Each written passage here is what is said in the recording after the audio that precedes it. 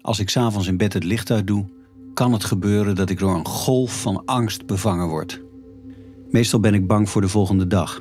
Er staat iets op het programma en stel dat het misgaat. Als ik daar te lang bij stilsta, doe ik die nacht geen oog dicht. Terwijl ik uitgerust moet zijn, juist om wat er op het programma staat.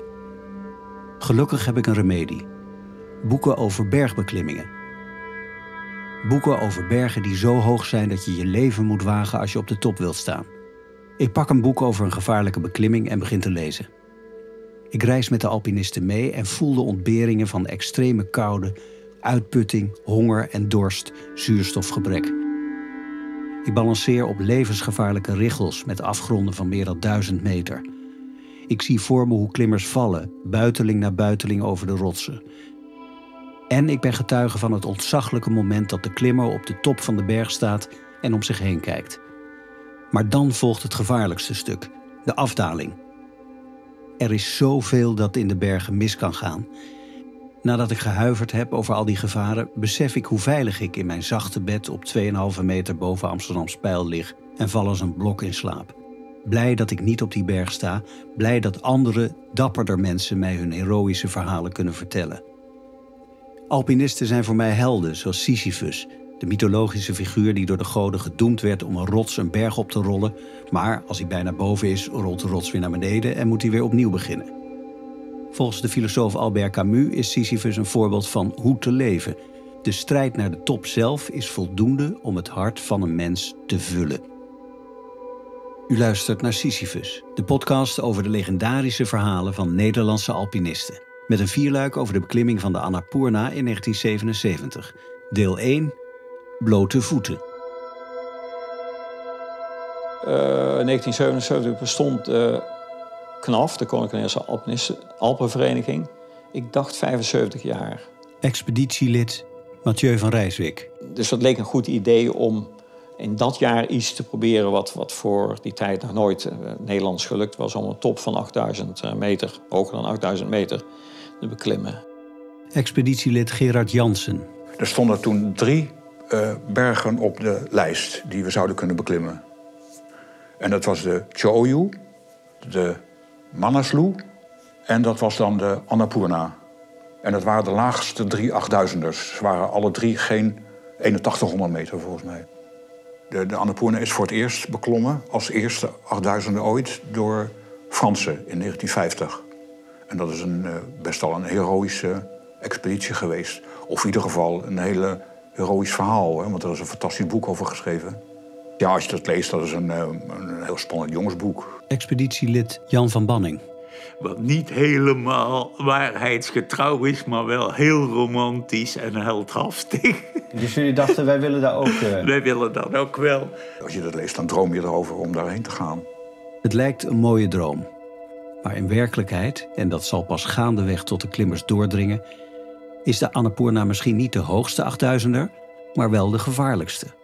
Zoals dat dan gaat, je viert zo'n jubileum en dan wil je ook wel eens een grote prestatie leveren. Dit is de stem van Xander Verijn Stuart, de expeditieleider, opgenomen vlak voor het begin van de expeditie. Verijn Stuart leefde van 1923 tot 2004 en hier was hij dus 53 jaar. Hij was hoogleraar informatica, een soort sportieve nerd, als dat geen contradictio in terminis is. En hij had vooraf de reis met een van zijn fossiele computers minutieus voorbereid. Hier laat hij horen hoe dat apparaat werkte. Nu stoppen we dit in deze machine hier en dan gaat hij een gek geluid maken. Nu gaat hij rekenen. en dat betekent dus dat. Uh... Xander bezat zelfs al een printer waarmee hij een tabel kon printen waarop te zien was op welke dag de verschillende kampen op de berg ingericht dienden te worden en hoeveel kilo's iedere klimmer per dag moest dragen. Maar voor mij is het een volkomen overduidelijke zaak dat we in ieder geval daar één equipe op de top krijgen. Ik bedoel, dat is vrijwel uitgesloten dat dat anders zou zijn. Het klinkt alsof het gezelschap Xanders voortvarende optimisme niet helemaal serieus neemt. De voorbereiding onder leiding van Verijn Stuart duurt twee jaar. Het formeren van het team is zijn belangrijkste taak. Op dat moment zijn er in Nederland nog geen professionele alpinisten.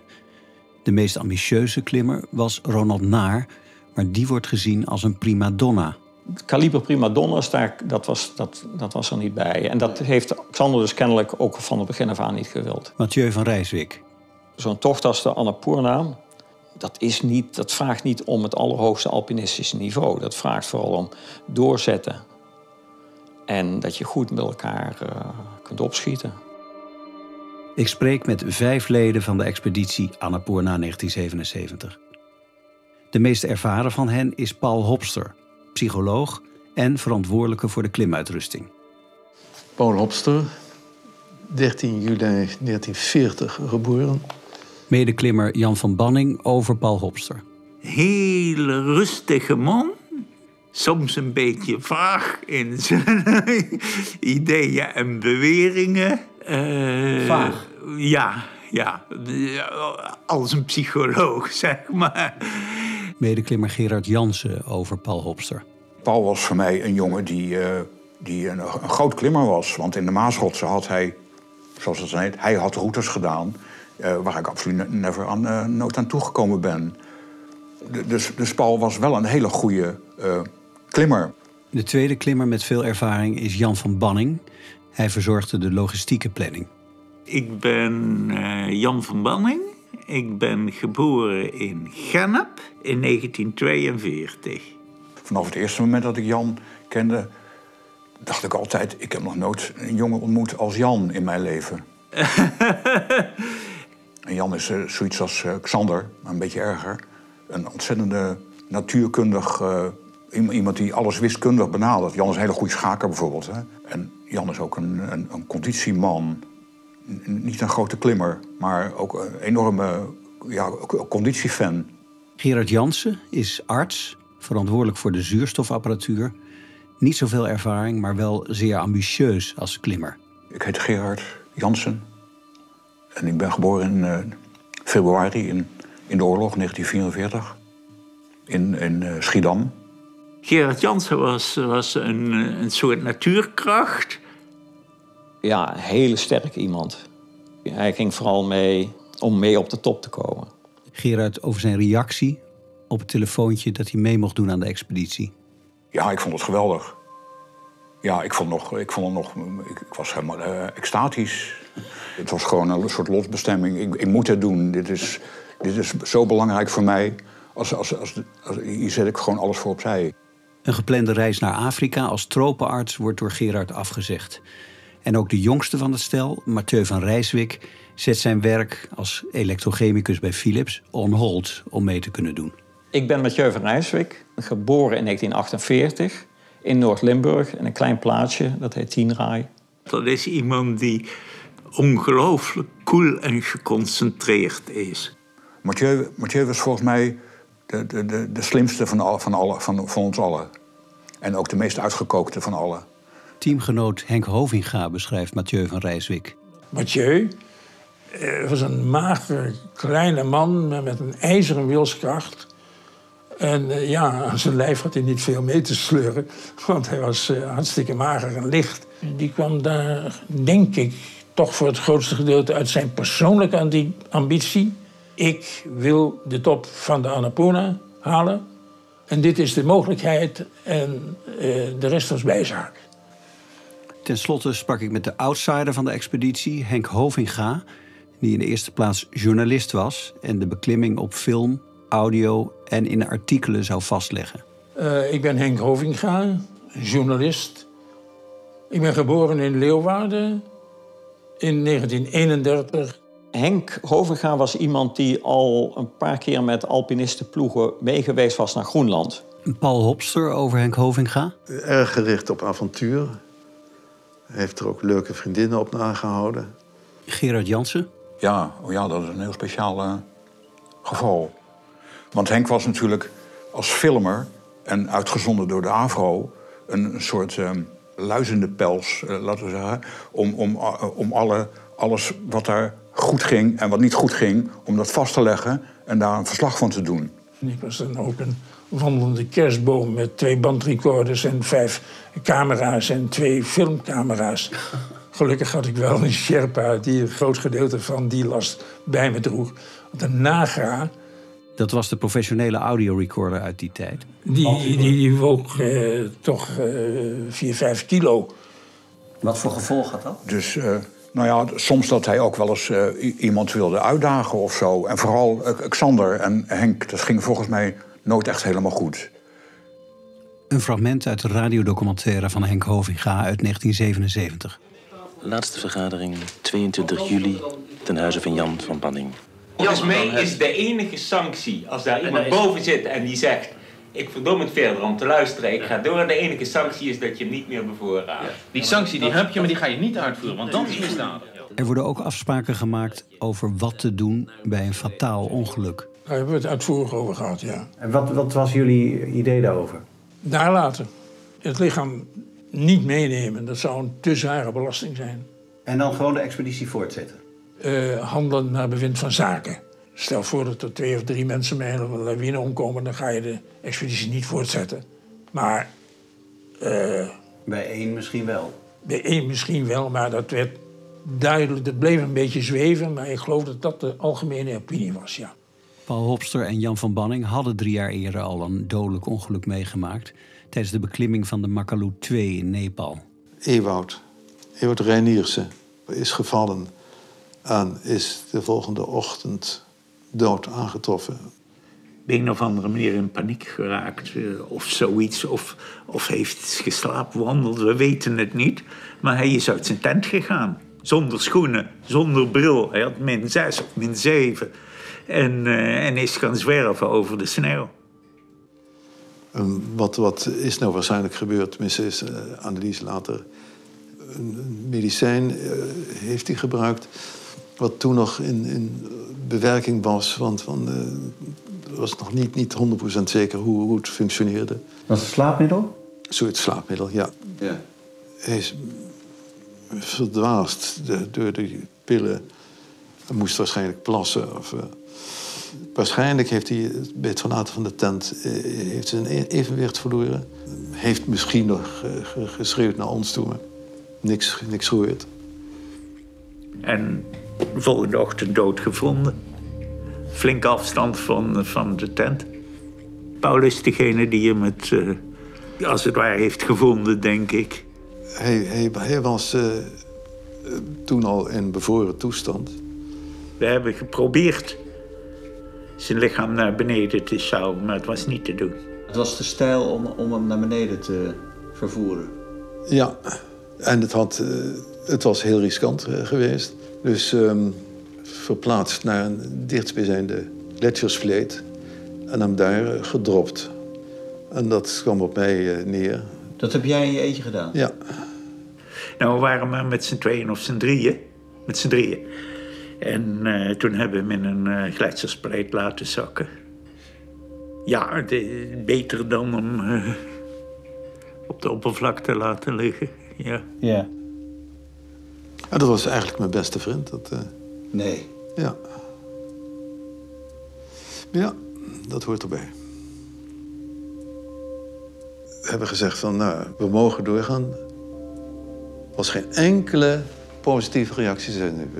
Op zo'n manier hoeft het voor ons niet. Dat, eh, Ik had misschien wel door willen gaan.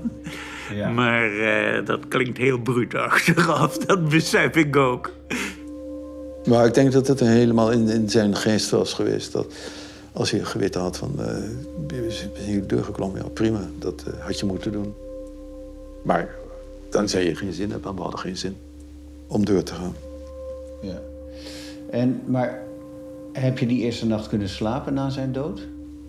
Ik denk het wel. Ja, hij komt TZT misschien nog, nog wel tevoorschijn weer als, als de gletsjers eh, allemaal weg, weggesmolten zijn.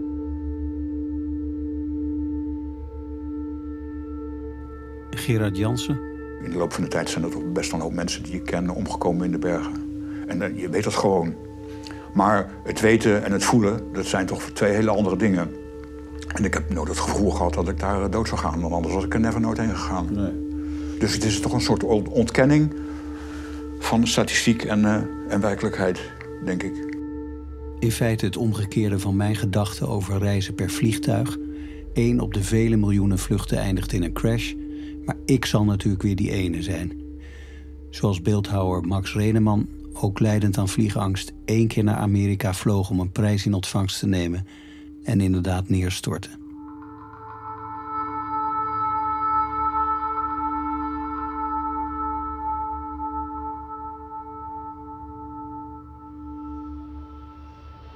Uit de tv-documentaire van Henk Hovinga onder beelden van het afscheid van dierbaren op Schiphol. Zondag 21 augustus. Eindelijk is het zover.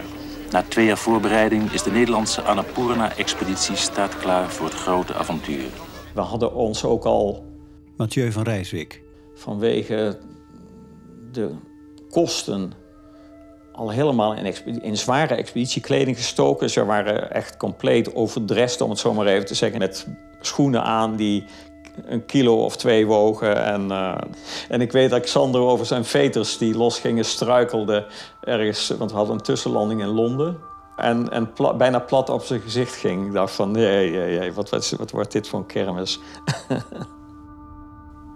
maar ik denk dat het vertrekken op Schiphol gewoon een, een soort bevrijding was. Van, hè, nou zijn we daarvan af. Het begint nu. Het begint nu, ja. ja. Er werd overgestapt in New Delhi en daarna met een klein vliegtuigje naar Kathmandu. Daar gaat de hele groep sightseeën en stuit op een lijkverbranding in de heilige Bagmati-rivier. Met Henk Hovinga kijk ik naar de filmbeelden die hij daarvan maakte. Dat is dus de heilige plaats. En daar links daar heb je de lijkverbranding. Daar ga ik. Je ziet, die was toen nog verder dik. Maar dat ging er allemaal af. Je is zo'n 16 kilo afgevallen, geloof ik, op die reis. Echt waar? Ja. De klimmers maken kennis met het team van 11 Sherpa's die de klim gaan begeleiden. En om de 5600 kilo bagage de berg op te krijgen worden 187 Nepalese dragers ingehuurd. De groep vertrekt eerst naar het plaatsje Pokhara, 180 kilometer vanaf Kathmandu. De expeditieleden en de Sherpa's reizen in een bus en de dragers in vrachtwagens zittend bovenop de bagage in de open lucht.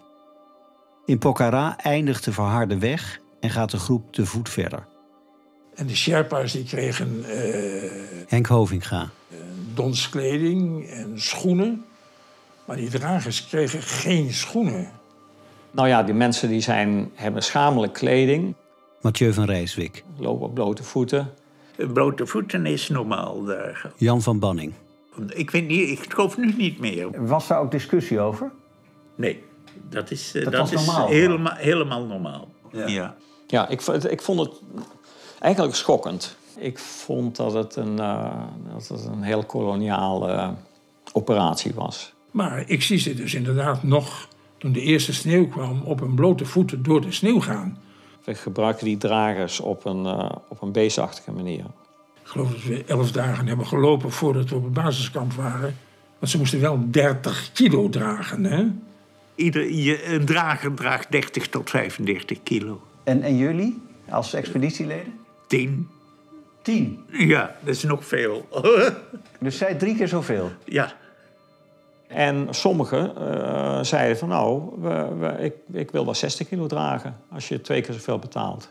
En die jongens waren er ook bij. Nou, Op blote voeten. Op blote voeten, ja. ja. De dragers krijgen 25 roepies per dag, ongeveer 2,50 euro. Ergens in zo een van de laatste dorpjes waar wij kwamen, daar stond een winkel, er was een winkeltje met een blik perziken. En ja, je kan me helemaal gek maken voor een blik perziken. Maar, en dat kostte, nou ja, laten we zeggen, ik denk misschien 12 roepies of zo. Het kostte de helft van een dragerloon. En ik heb heel lang staan te dubben van, kan ik nou dat blik perziken kopen? Ja, ja, half dragerloon, dat, dat doe je toch niet, ja. Uiteindelijk heb ik het wel gedaan. Maar de dragers krijgen wel iedere dag 10 sigaretten. Er worden 15.000 sigaretten meegevoerd en er is één drager die alleen is ingehuurd voor het vervoeren van de sigaretten. Dagenlang loopt deze hele equipe door de diepste vallei ter wereld, de Kaligandaki, langs een rivier die op 1000 meter hoogte ligt, terwijl de bergen aan weerszijden meer dan 8000 meter hoog zijn. Naarmate de Annapurna dichterbij komt, wordt het parcours lastiger. Er zijn spekgladde hellingen en woeste bergbeken met alleen maar een dunne boomstam bij wijze van brug. Henk Hovinga. Op een gegeven moment zeiden dus, uh, weet ik veel, een, een groep uh, dragers... jullie kunnen het doen, we doen dat niet meer. En uh, ja, daar stonden we met zoveel kilo bagage. En waarom staakten ze? Nou, ten eerste was het ontzettend slecht weer. Gerard Jansen. Het regende en we liepen door de blubber, urenlang, dagenlang. En, en, en, en het was koud. En die dragers die hadden niet zoveel. Die hadden, een hele hoop hadden zelfs geen, geen schoenen of zo. Dus die liepen van, of op hun teenslippers door de, door de koude blubber. En door de, door de regen van, van 2 graden boven nul. En, en, en dan komt daar de hoogte bij op 3500 meter. Dus die, die, die, die mensen die wilden niet meer, die wilden omkeren. Er wordt onderhandeld onder leiding van Mingma, de aanvoerder van de Sherpa's, waarna een deel van de dragers vertrekt. De rest gaat door en een deel van de overgebleven dragers gaat de route twee keer lopen. Voor Mathieu verloopt de wandeltocht voorspoedig. Ik had wel al, al helemaal in het begin het vermoeden dat Gerard en ik veruit de sterkste van de hele groep zouden zijn. En we deden er ook het meest voor. We, we spanden ons elke dag in. Dus daarom, ik zou het in ieder geval dat ik al, al die etappes als eerste in het volgende kamp was of zo. Uh, dus een soort competitiesfeer. Ja, en dat basiskamp dat was een grote vlakte eigenlijk. Nou ja, grote, maar een groot, groot terrein aan de rand van een, van een afbreuk die heel steil was. En daar stonden nog resten van vorige kampen. Dus een paar muurtjes opgebouwd van stenen. En uh, ja, en dat was het. We wisten dat we daar een, uh, een, paar weken zouden zitten op die plaats.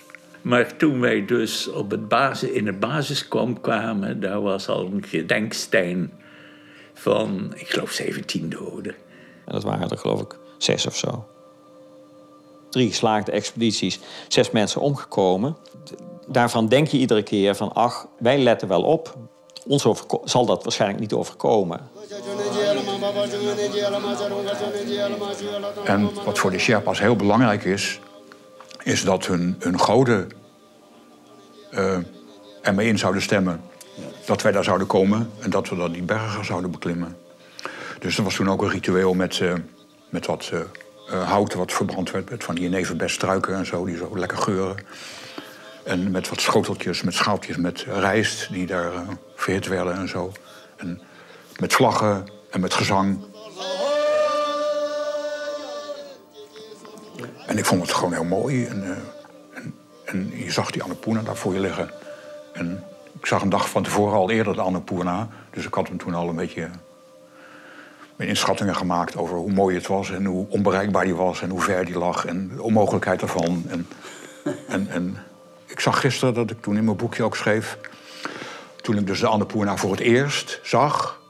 Toen we die laatste vier dagen door de bush naar boven moesten. En op een gegeven moment trok het helemaal open. En dan zag ik die berg. Dat ik zei van nou, dit wordt onmogelijk.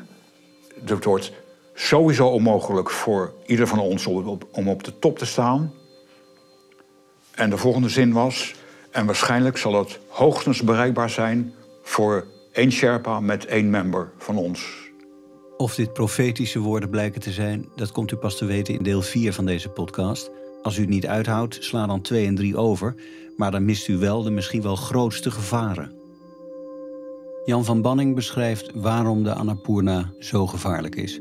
Het heeft een heel groot topvlak dat helt met een graad of 30. En op die 30 graden helling zijn geen obstakels. Dus alle sneeuw die daar valt, die kan uh, elk moment naar beneden komen. Het is dus eigenlijk van de 8000, dat is een van de meer gevaarlijke bergen.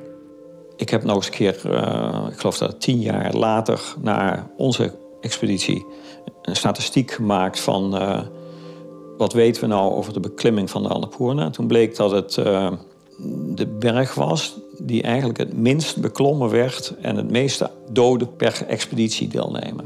Dat is toch wel een beetje zorgwekkend, ja. Maar uh, op dat moment is het gevaar natuurlijk ver weg. Maar... Het, het, meedoen aan een expeditie in die tijd naar een type top als de Annapurna was minstens zo gevaarlijk als wanneer je in de Eerste Wereldoorlog naar de, in de loopgraven gestuurd werd. Objectief gezien. De Eerste Wereldoorlog, al die Duitsers die uh, zingend en de treinen instapten, ook niet wisten wat ze gingen doen. Dat is misschien een voordeel van de jeugd als je jong bent, dat je gevaren gewoon opzij kan schuiven. U luistert naar Sisyphus, de podcast over de legendarische beklimmingen van Nederlandse alpinisten. Dit was deel 1 van een vierluik over de beklimming van de Annapurna in 1977. De muziek van Sisyphus is van Alex Simou en werd uitgevoerd door Matthias Conrad trombone, George Dumitriou altviool en Alex Simou basklarinet. Montageadviezen Hans Aarsman, mixage Alex Boy, eindredactie Jair Stijn. Sisyphus is een podcast gemaakt voor de NTR en NPO Radio 1. Deze serie kwam tot stand met steun van het NPO-fonds.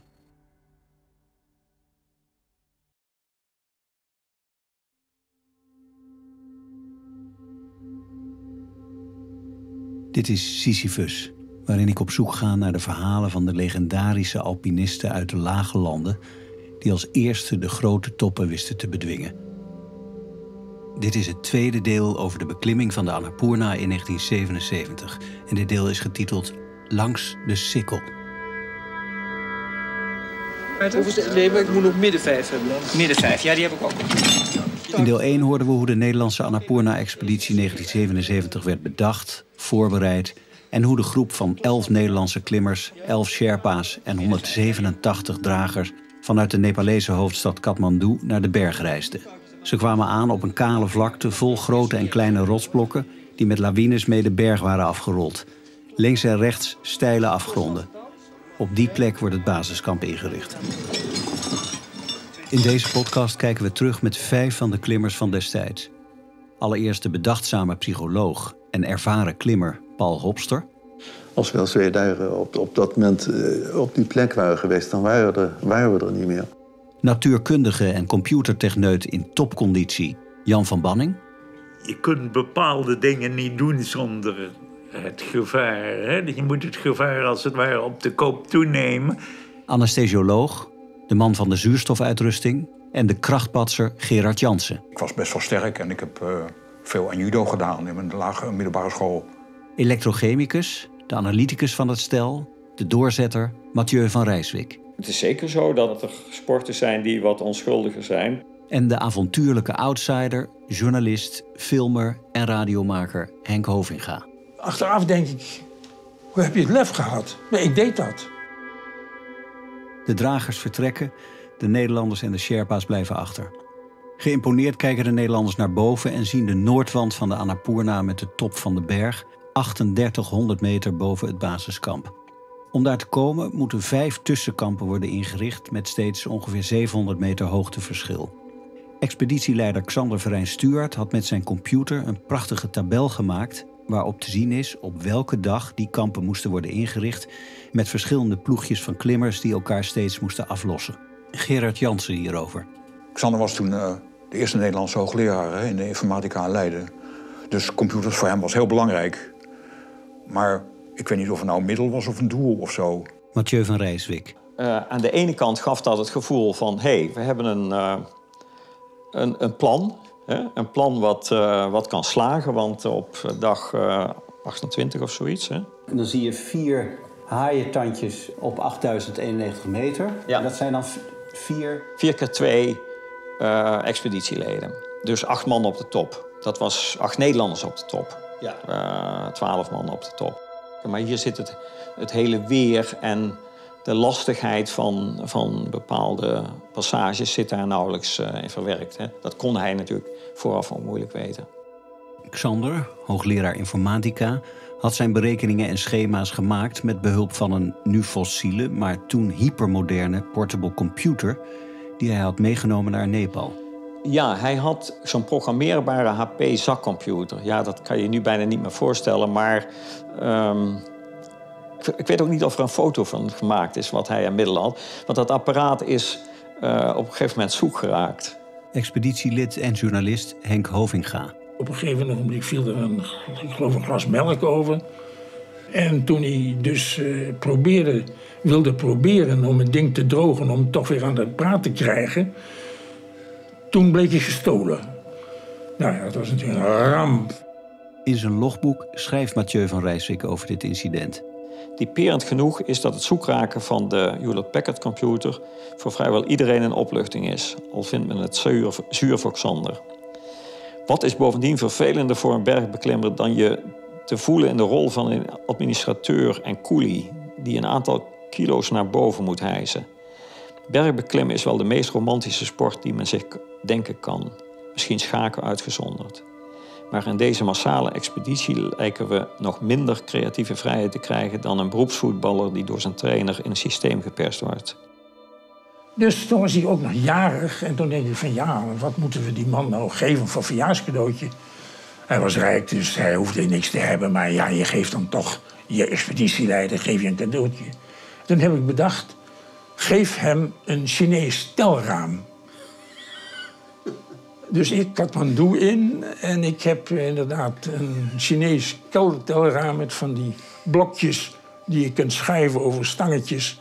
eh, heb ik gekocht en in veel papier verpakt en hem aangeboden. En dat vond hij helemaal niet leuk. Dit soort gesprekken kunnen we op die eh, kostbare batterij van ons ons niet permitteren. We danken je zeer voor de intentie en ik zou het daar graag bij willen laten. Over. De computer is er weggebleven. Is nooit boven water gekomen. Het drama en de spot rondom de weggeraakte computer staat voor een breder verschil van mening over de manier van klimmen. Aan de ene kant die van de grote expedities met vele dragers, sherpa's en klimmers. En aan de andere kant de zogenaamde alpine stijl, waarin door kleine groepjes of zelfs solo wordt geklommen.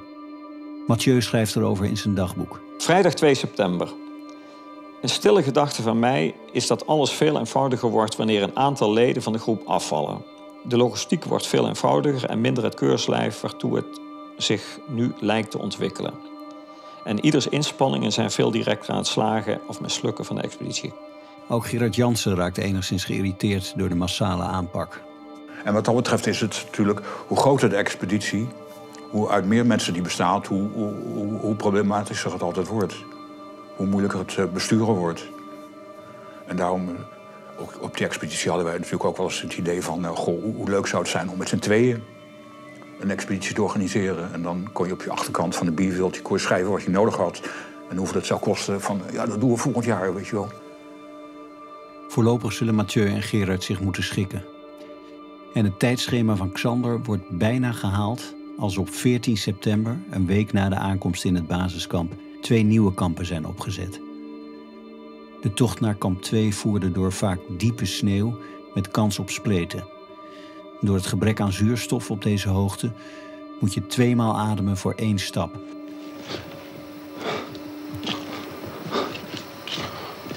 Een fragment uit de televisiedocumentaire van Henk Hovinga uit 1977. Jan Palte, Maarten Briet en Lucas Wildervank bevestigen een vast touw in een veilig lijkende toegangsweg.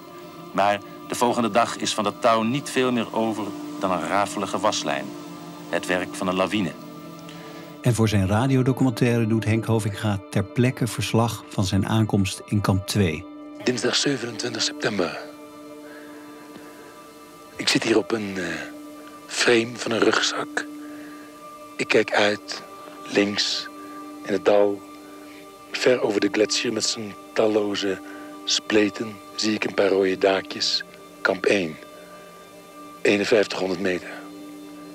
Voor me een geel tentje. Een groen tentje. Een rood tentje. De slaapzakken hangen te luchten. En dan rechts. Daar gaat het om.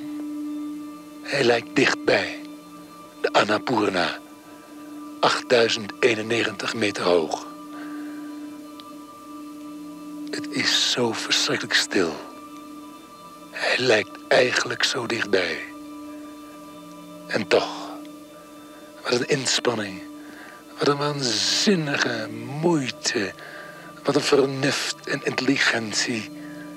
Maar dat geld ook is hier geïnvesteerd om straks 1, 2 of hoeveel mensen zullen te worden op die top te brengen. Ondanks zijn controlebehoeften heeft expeditieleider Xander geen vast omlijnd plan voor de route na kamp 2. Er is een tijd lang geweest, misschien wel een week, Mathieu van Rijswijk. dat we eigenlijk onzeker waren over de route waar zich die eh, af zou spelen. Ik denk dat Sander hier ergens wel een plaatje heeft waar je die mogelijkheden in ziet. Op het plaatje is te zien dat halverwege de berg het cijfer 2 te zien is, kamp 2. Vanuit daar voeren verschillende stippenlijntjes naar boven. Dat zijn de eerdere expedities door de Engelsen, Fransen, Italianen en Spanjaarden. Gerard Jansen beschrijft het uitzicht naar boven, bekeken vanuit kamp 2. Dan komt er vanaf de top, die heel ver weg eh, lijkt te liggen, komt er een heel groot, heel groot sneeuwveld naar je toe. En die sneeuwveld die wordt abrupt eh, doorsneden van links naar rechts door een hele grote rotsband. En, en die loopt die, eh, in de vorm van een sikkel. Ja. Een half rond bord. Ja, dit heet de sikkel. Als je hier in dit gebied gaat klimmen, dus eh, Onder die sikkel? onder die sikkel, dan loop je gewoon het risico dat je door ijsbrokken getroffen wordt. En die hebben in ieder geval een enorme impact. En dat zijn dan in het Franse boek, beschrijft Herzog dat als eh, eh, de treinen van de Annapurna. Ik citeer uit Herzogs boek Annapurna, Eerste 8000er uit 1952. Het gerommel van lawines klinkt steeds veelvuldiger. Het is een onheilspellend geluid dat na een poos op mijn zenuwen gaat werken. En dan citeert Herzog zijn collega-klimmer Ishak, die er een grapje van probeert te maken. Hé, hey, daar gaat de goederentrein van zeven over half vier. Puntje, puntje, puntje. Nu komt de sneltrein van vier uur. Hè, dus dat gedender, dat doen, doen, doen, doen, doen. De hele nacht komen die treinen van de Annapurna langs. En dat, dat is het geluid wat de lawines veroorzaakt. De lawi- lawines die, in die over die sikkel heen rand, over die sikkelrand rand heen komen, die maken dat uh, donker, donker, donker geluid. En hier het echte geluid opgenomen met de microfoon van Henk Hovinga.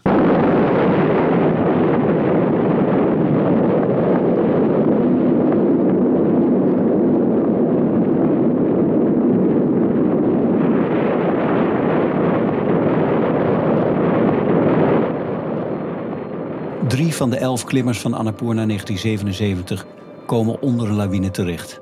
Onder hen Jan van Banning. Ik ben eh één keer eh, door een stuiflawine overvallen. Maar dat was dus alleen stuif. Dat is dus een, een hele lichte lawine, ja. En, maar wist u op dat moment ook dat het een lichte was? dat weet je natuurlijk niet heel echt. Je hoopt dat het daarbij blijft, ja. Dus u had doodsangst? Eh, ja, ja en nee. Je moet op een gegeven moment... Je moet, moet Ja, u lacht erom, maar... nee, je moet, moet op een gegeven moment doen wat, eh, Wat je moet doen. wat je moet doen. En niet gaan piekeren over, over doodgaan. Hè?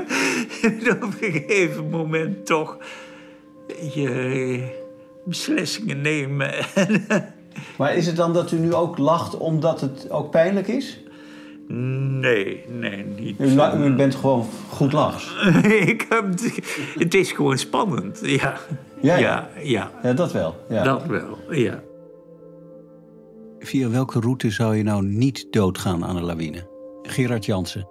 Vol- Volgens mij waren er een aantal routes die eh, mogelijk waren. Via rechtsom, linksom. Hele lange routes zijn dat dan, want dan moet je eindeloos eh, door totaal onbekend terrein heen. Om die sikkel te ontwijken? Om die sikkel te ontwijken. Vanuit het kampje 2 hebben we toen een aantal groepjes uitgestuurd om te kijken waar we nou verder konden gaan klimmen. Jan van Banning. We hebben drie of vier variaties geprobeerd. Eentje rechtsom, daar hadden de Italianen ook geprobeerd, maar dat was niet gelukt. Rechtsom die sikkel heen? Rechtsom die sikkel heen. En eh, de sikkel zelf, die is ook nog al geprobeerd. Dus er was zo weinig kennis van die routes... dat Ja. jullie maar gewoon wat uitprobeerden? Ja, het was een beetje, beetje kijken. Tijdens vergaderingen ontstaat oneenigheid over de verschillende routes. Dan ben ik niet bereid om nu een Ja, extra maar, risico maar wat zijn er nou risico's waar jij Nou, nou praat uit over luister gaat? Het is heel Sander, simpel. Laat mij nou eens één keer uitpraten, Lucas. Jij Eh, valt mee in de reden, Xander, maar ga je gang. Ik, en, en het enige wat ik zeg is dat je in deze tijd verstandig veel bagage omhoog moet brengen naar een punt. Na een van de vele verkenningen raakt de minste ervaren klimmer, journalist Henk Hovinga, de weg kwijt. Hij maakt volgens expeditieleider Xander in zijn boek Annapurna 8091 meter een val van 30 meter. Ja, ik, ik, ik gleed een eind naar beneden, of de 30 meter is, weet ik niet. En ik begon hem ook wel te knijpen. Ik denk van, jeetje, dit gaat me iets te hard, dit, dit gaat niet goed. Maar ik heb me dan toch... Uh, U kwam goed terecht? Ja, ik kwam op een gegeven moment tegen een obstakel aan... waardoor ik niet verder kon. En daar ben ik dus weer gaan staan. Henk overziet het parcours naar beneden. De route is gemarkeerd met vlaggetjes, maar loopt door een gletsjer. Een gletsjer blijft nooit gelijk. Het is een bevroren rivier die beweegt. Dus je kon niet van rood vlaggetje naar een ander rood vlaggetje lopen. En zo ben ik dus inderdaad verdwaald. Doodmoe, ziek. Maar in feite toch niet ongelukkig, want het was schitterend. Het was zo prachtig. Ik had nooit zoiets beleefd. Zo'n diepblauwe, bijna zwarte hemel. Dan ging ik me weer zitten en dan genoot ik. ik ja, fantastisch. Nou, en dan liep ik weer vijf minuten of zes minuten of een aantal minuten. En dan was het weer. Ik zat bewonderend om me heen te kijken. En de tijd verstreek en ik ging weer even zitten. Ik denk, ik kom er wel. Als ik maar langzaam aandoe, dan kom ik wel. Maar dat was natuurlijk een gigantische misrekening.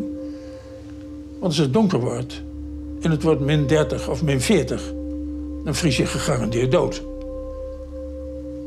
Maar eh, nou ja, ik eh, had eigenlijk dus niks in de gaten.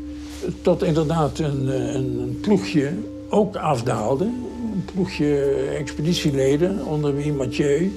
Die van, hup, Henk, komen. Ik zei, ja, gaan jullie maar, ik, ik kom wel. Terwijl een normaal mens zou dan zeggen... ah, eindelijk, de redding, daar komen ze. Waarom zei u toen, nou, laat mij maar? Omdat ik uh, heel gelukkig was. Ik denk dat ik toen was doodgevroren... dat ik een hele mooie dood had gehad. Zijn drie teamgenoten dwingen Henk om mee naar beneden te lopen... en even later komt hij strompelend en slingerend... zoals Xander in zijn boek schrijft, aan in het basiskamp. Teamarts Maarten Briet en Gerard Jansen, ook arts, stellen vast dat Henk ameubendysenterie heeft opgelopen als gevolg van het drinken van water uit een rivier tijdens de wandeltocht naar de Annapurna. Ze behandelen hem succesvol met medicijnen. Heer Xander bij de meute, ik hoor jou. Uiteindelijk zijn uh, is Gerard en Mingma en ik zijn op deze... Mathieu wijst op het kaartje van de Annapurna naar een verticaal lopende rotspartij links van de sikkel. Pijler noemen we dat, hè? dus dat is zo'n zo'n stijl... Steile wand? Uh, hier aan begonnen en dat leek ons de veiligste route. En daar is Gerard dus als eerste ingeklommen. Uh, een, een rib, een soort rotsband die helemaal vrij was van sneeuw. En waar wij het idee hadden dat, dat de lawines daar langs vielen. En dan is het wel een stukje een beetje stijl klimmen met rots en wat, wat, wat, wat, wat hard ijs of zo. En als we daar dan eenmaal boven zijn, dan zijn we boven het gebied van het sneeuwveld van die sikkel, of het verlengde van de sikkel. En dan kunnen we daarna verder. En dat was jullie eigen idee? Dat was ons eigenlijk idee. Ja, eigenlijk was het mijn idee. Had ik het idee. Ah. Ik had het idee dat het mijn idee was. Maar dat was dus totaal onbekend gebied? Dat was ook onbekend gebied, ja. ja. Dat lijkt me bizar angstig. Nee, nee, nee, nee. Dat moet je... Kijk, het, het is um, een heel, uh, ja, heel uh, ambitieuze route eigenlijk. Maar wel een, veil, maar wel een technische, en een, maar wel een veilig, relatief veilige route. Omdat? Nou ja, omdat het, het, het, de, de lawines die van boven afkomen... eigenlijk daar omheen stromen. Die, die, gaan, die lopen dus via deze goot of aan deze kant eraf. En wij staan daartussen. Zo worden de lawines van de sikkel omzeild, maar krijg je er andere voor terug. Ook Jan van Banning verkent deze route. En links en rechts waren goten waar de lawines doorkwamen. Dan was er zo'n helling van een graad of uh, 30 naast je tent, een meter naast je tent naar beneden. En daar kwam dan de, 100 meter diep. En daar kwam dan die, kwamen dan die lawines langs. En dat ging zo hard. En dat is vlak naast de tent? vlak naast je tent. Dat is net, een, net alsof je naast de trein lag die langskwam. Maar u lacht erom, maar dat is bijna dodelijk.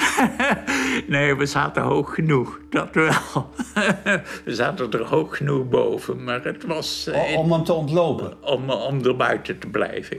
Dat is dus het voordeel. Via deze bergkam, ook wel de markante rib of messcherpe rib genoemd, klim je hoog en droog boven de lawines. Toch worden nog zes dagen na het ontdekken van deze route verkenningen elders gedaan. En dan besluit Xander om democratisch een beslissing te nemen of deze route de route wordt. Een opname uit de radiodocumentaire van Henk Hovinga. Oké, wat vinden jullie daarvan? Hilco? Ja, ik ook wel. Gerard? Mathieu? Ja, ik eh, zie het ook als wel als, als een mogelijkheid. Jan? Het is toch wel moeilijk, maar eh, ik wil graag één of twee dagen wachten eigenlijk. Maar eh, Paul? Ik ben voor veiligheid, laten we het maar doen. En Charles? En eh, dat, is, dat was een goede greep. Dat is naar de hand bekend gebleven als de Dutch Rip. De markante rib, ja. Uiteindelijk is dat de Dutch rib geworden. Ja, de Dutch Rib heet dat. De Dutch Rib. Ik denk ook eh, nu, eh, nu de Annapurna ook van het noorden wat eh, vaker beklommen is... dat de meeste mensen onze route volgen. Ondertussen is psycholoog en expeditielid Paul Hopster bezig met een wetenschappelijk onderzoek onder zijn mede-alpinisten. Het Prins Bernhard Fonds had een deel van de expeditie gefinancierd in ruil voor een onderzoek naar het psychisch welbevinden op grote hoogte. De andere expeditieleden die, die vonden het een beetje een zot idee. Psychologische testjes. Henk Hovinga. Dus eerst dacht ik van, oh jee, dan gaan we allemaal nog eh, met het ontleedmes, geestelijk. Jezus, moeten we weer naar die stomme psycholoog toe? Wat, wat, eh, wat... Kregen we figuurtjes voor ons, een driehoekje of god maar weten wat. En dan vroeg je vijf minuten later, wat stond erop? Maar eh, ze gingen uiteindelijk allemaal wel, eh, wel, eh, wel akkoord. Maar wat wil je precies achterhalen? Gewoon nieuwsgierigheid hoe je eh, functioneert in een eh, gebied wat verstoken is van enige luxe, Ja. van enig gemak. Eh, je moest heel veel improviseren. Daar moest je 15 vragen eh, beantwoorden. Ik heb- daar geïntroduceerd de wellustlijst. Wat, wat, wat betekent dat? Het ging dus om een klachtenlijst. Maar eh, niemand zou er, heeft er zin in om, om een klachtenlijst. Jezus, moet nou weer dat wel. Maar als het een wellustlijst is, dan...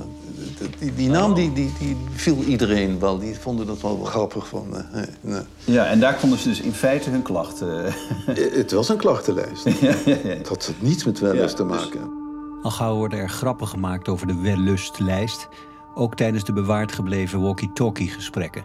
Oké, eh, dan lijkt het beste dat we dat morgen maar van de lust van ieder laten afhangen, over. Van het weer te laten afhangen, dat lijkt me uitstekend, over. Niet van het weer, maar van de lust van een ieder, over.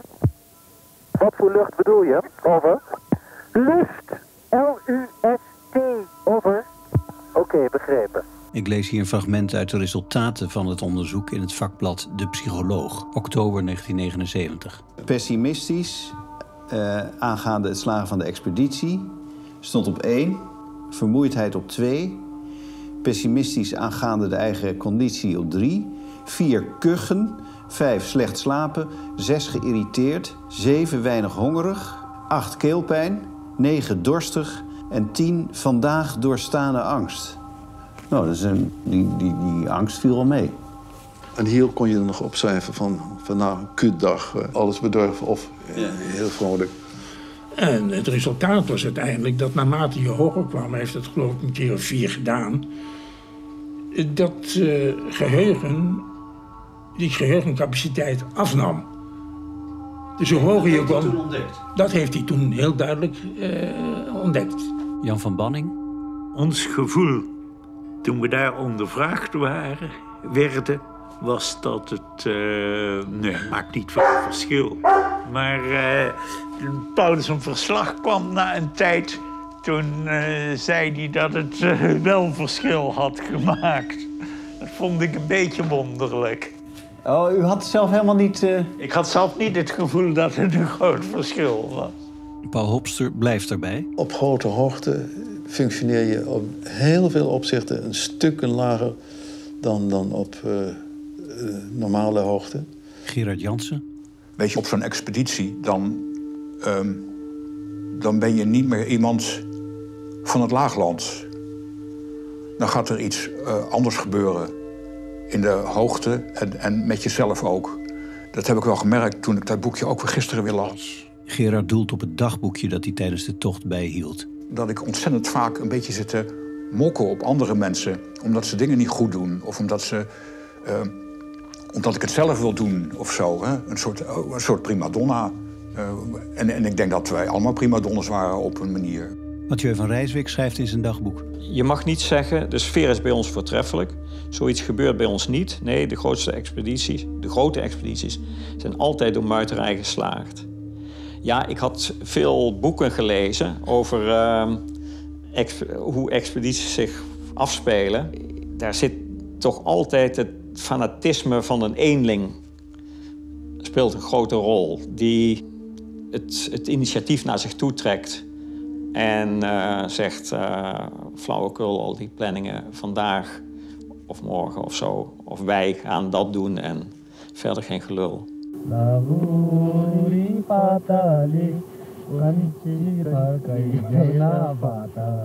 Het zwaartepunt van Gerard en Mathieu's gal over het gebrek aan zelfstandigheid ligt bij de onmisbare rol van de Sherpa's tijdens de klim. Gerard formuleert het in zijn dagboek als volgt. Het was toch verdomme niet een Sherpa-show. Wij moeten leiding geven en niet zij. Herinner je dat je dat zei? Nou, ik las het gisteren, ik las het gisteren in mijn boekje. Allengs ben ik er wel achter gekomen. En dat is ook zo'n soort, uh, ja, dat leer je in de loop van, de, van die weken daar... dat die Sherpas eigenlijk zoveel beter zijn dan wij.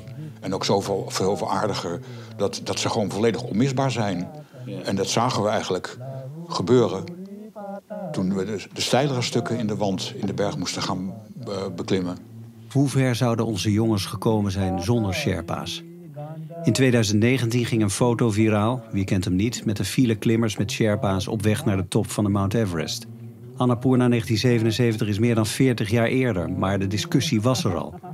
Mag je het nog een alpine prestatie noemen als anderen je de berg opsjorren? Over die vraag gaat het ook in de dagboeken van Mathieu van Rijswijk. Dinsdag 13 september, 7 uur morgens, kamp 1. Mijn idee is dat het voor de beklimming er niet om gaat wie wie betaalt, maar alleen om wie wat presteert.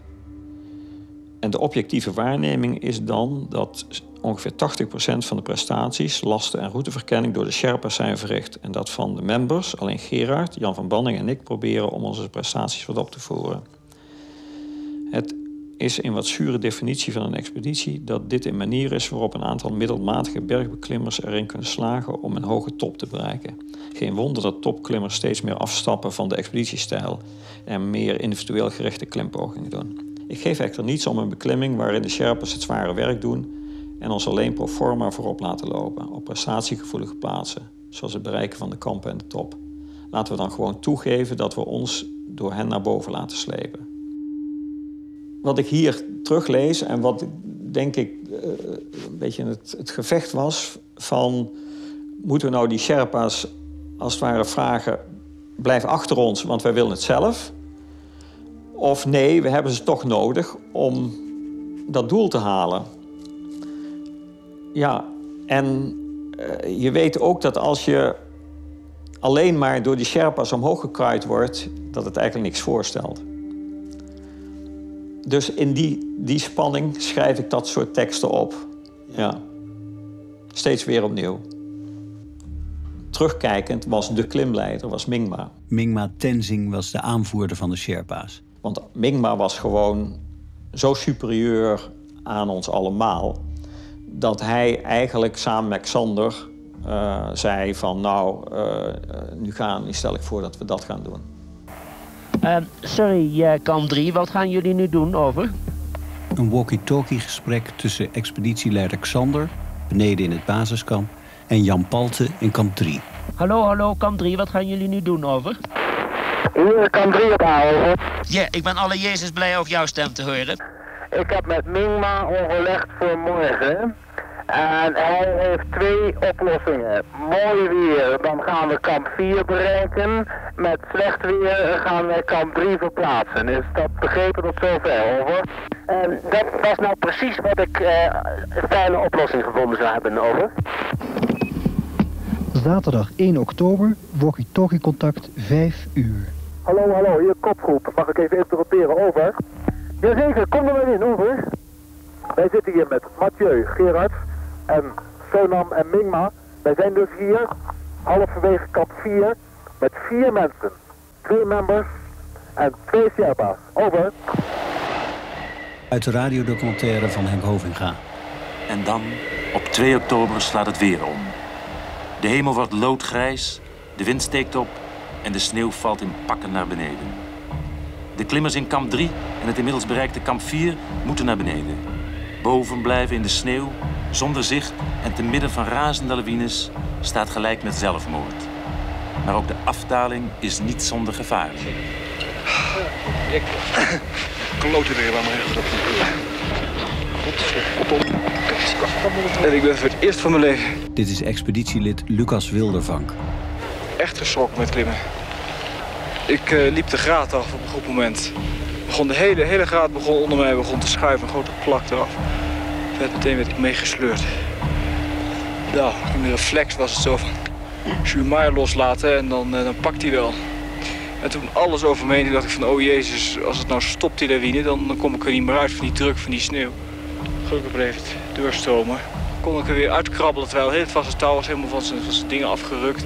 Plus het feit dat je nou, in die papsneeuw hangt waar je geen enkele, geen enkele grip, ik zeg helemaal niets.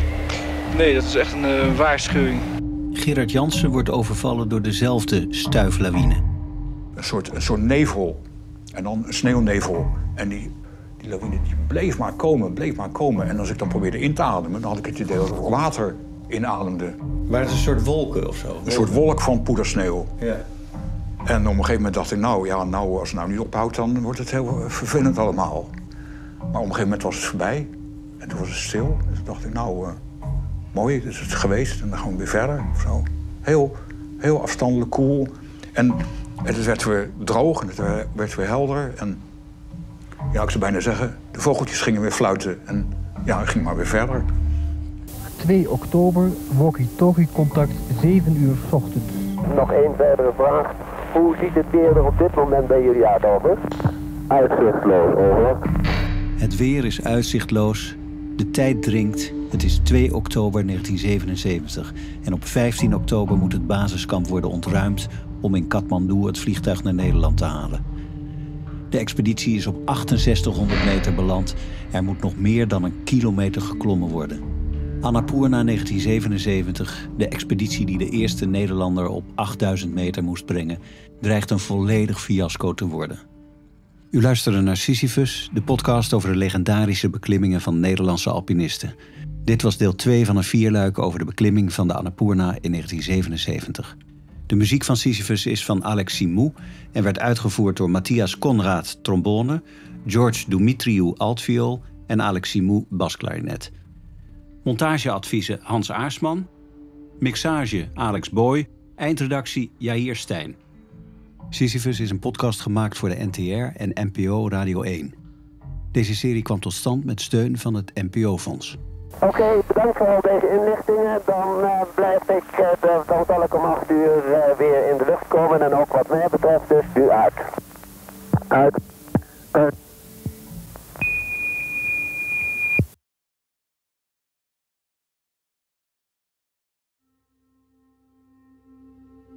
U luistert naar Sisyphus, de podcast over de legendarische beklimmingen door Nederlandse alpinisten. Met een vierluik over de beklimming van de Annapurna in 1977. Dit is deel 3, mandarijnen en pisflessen.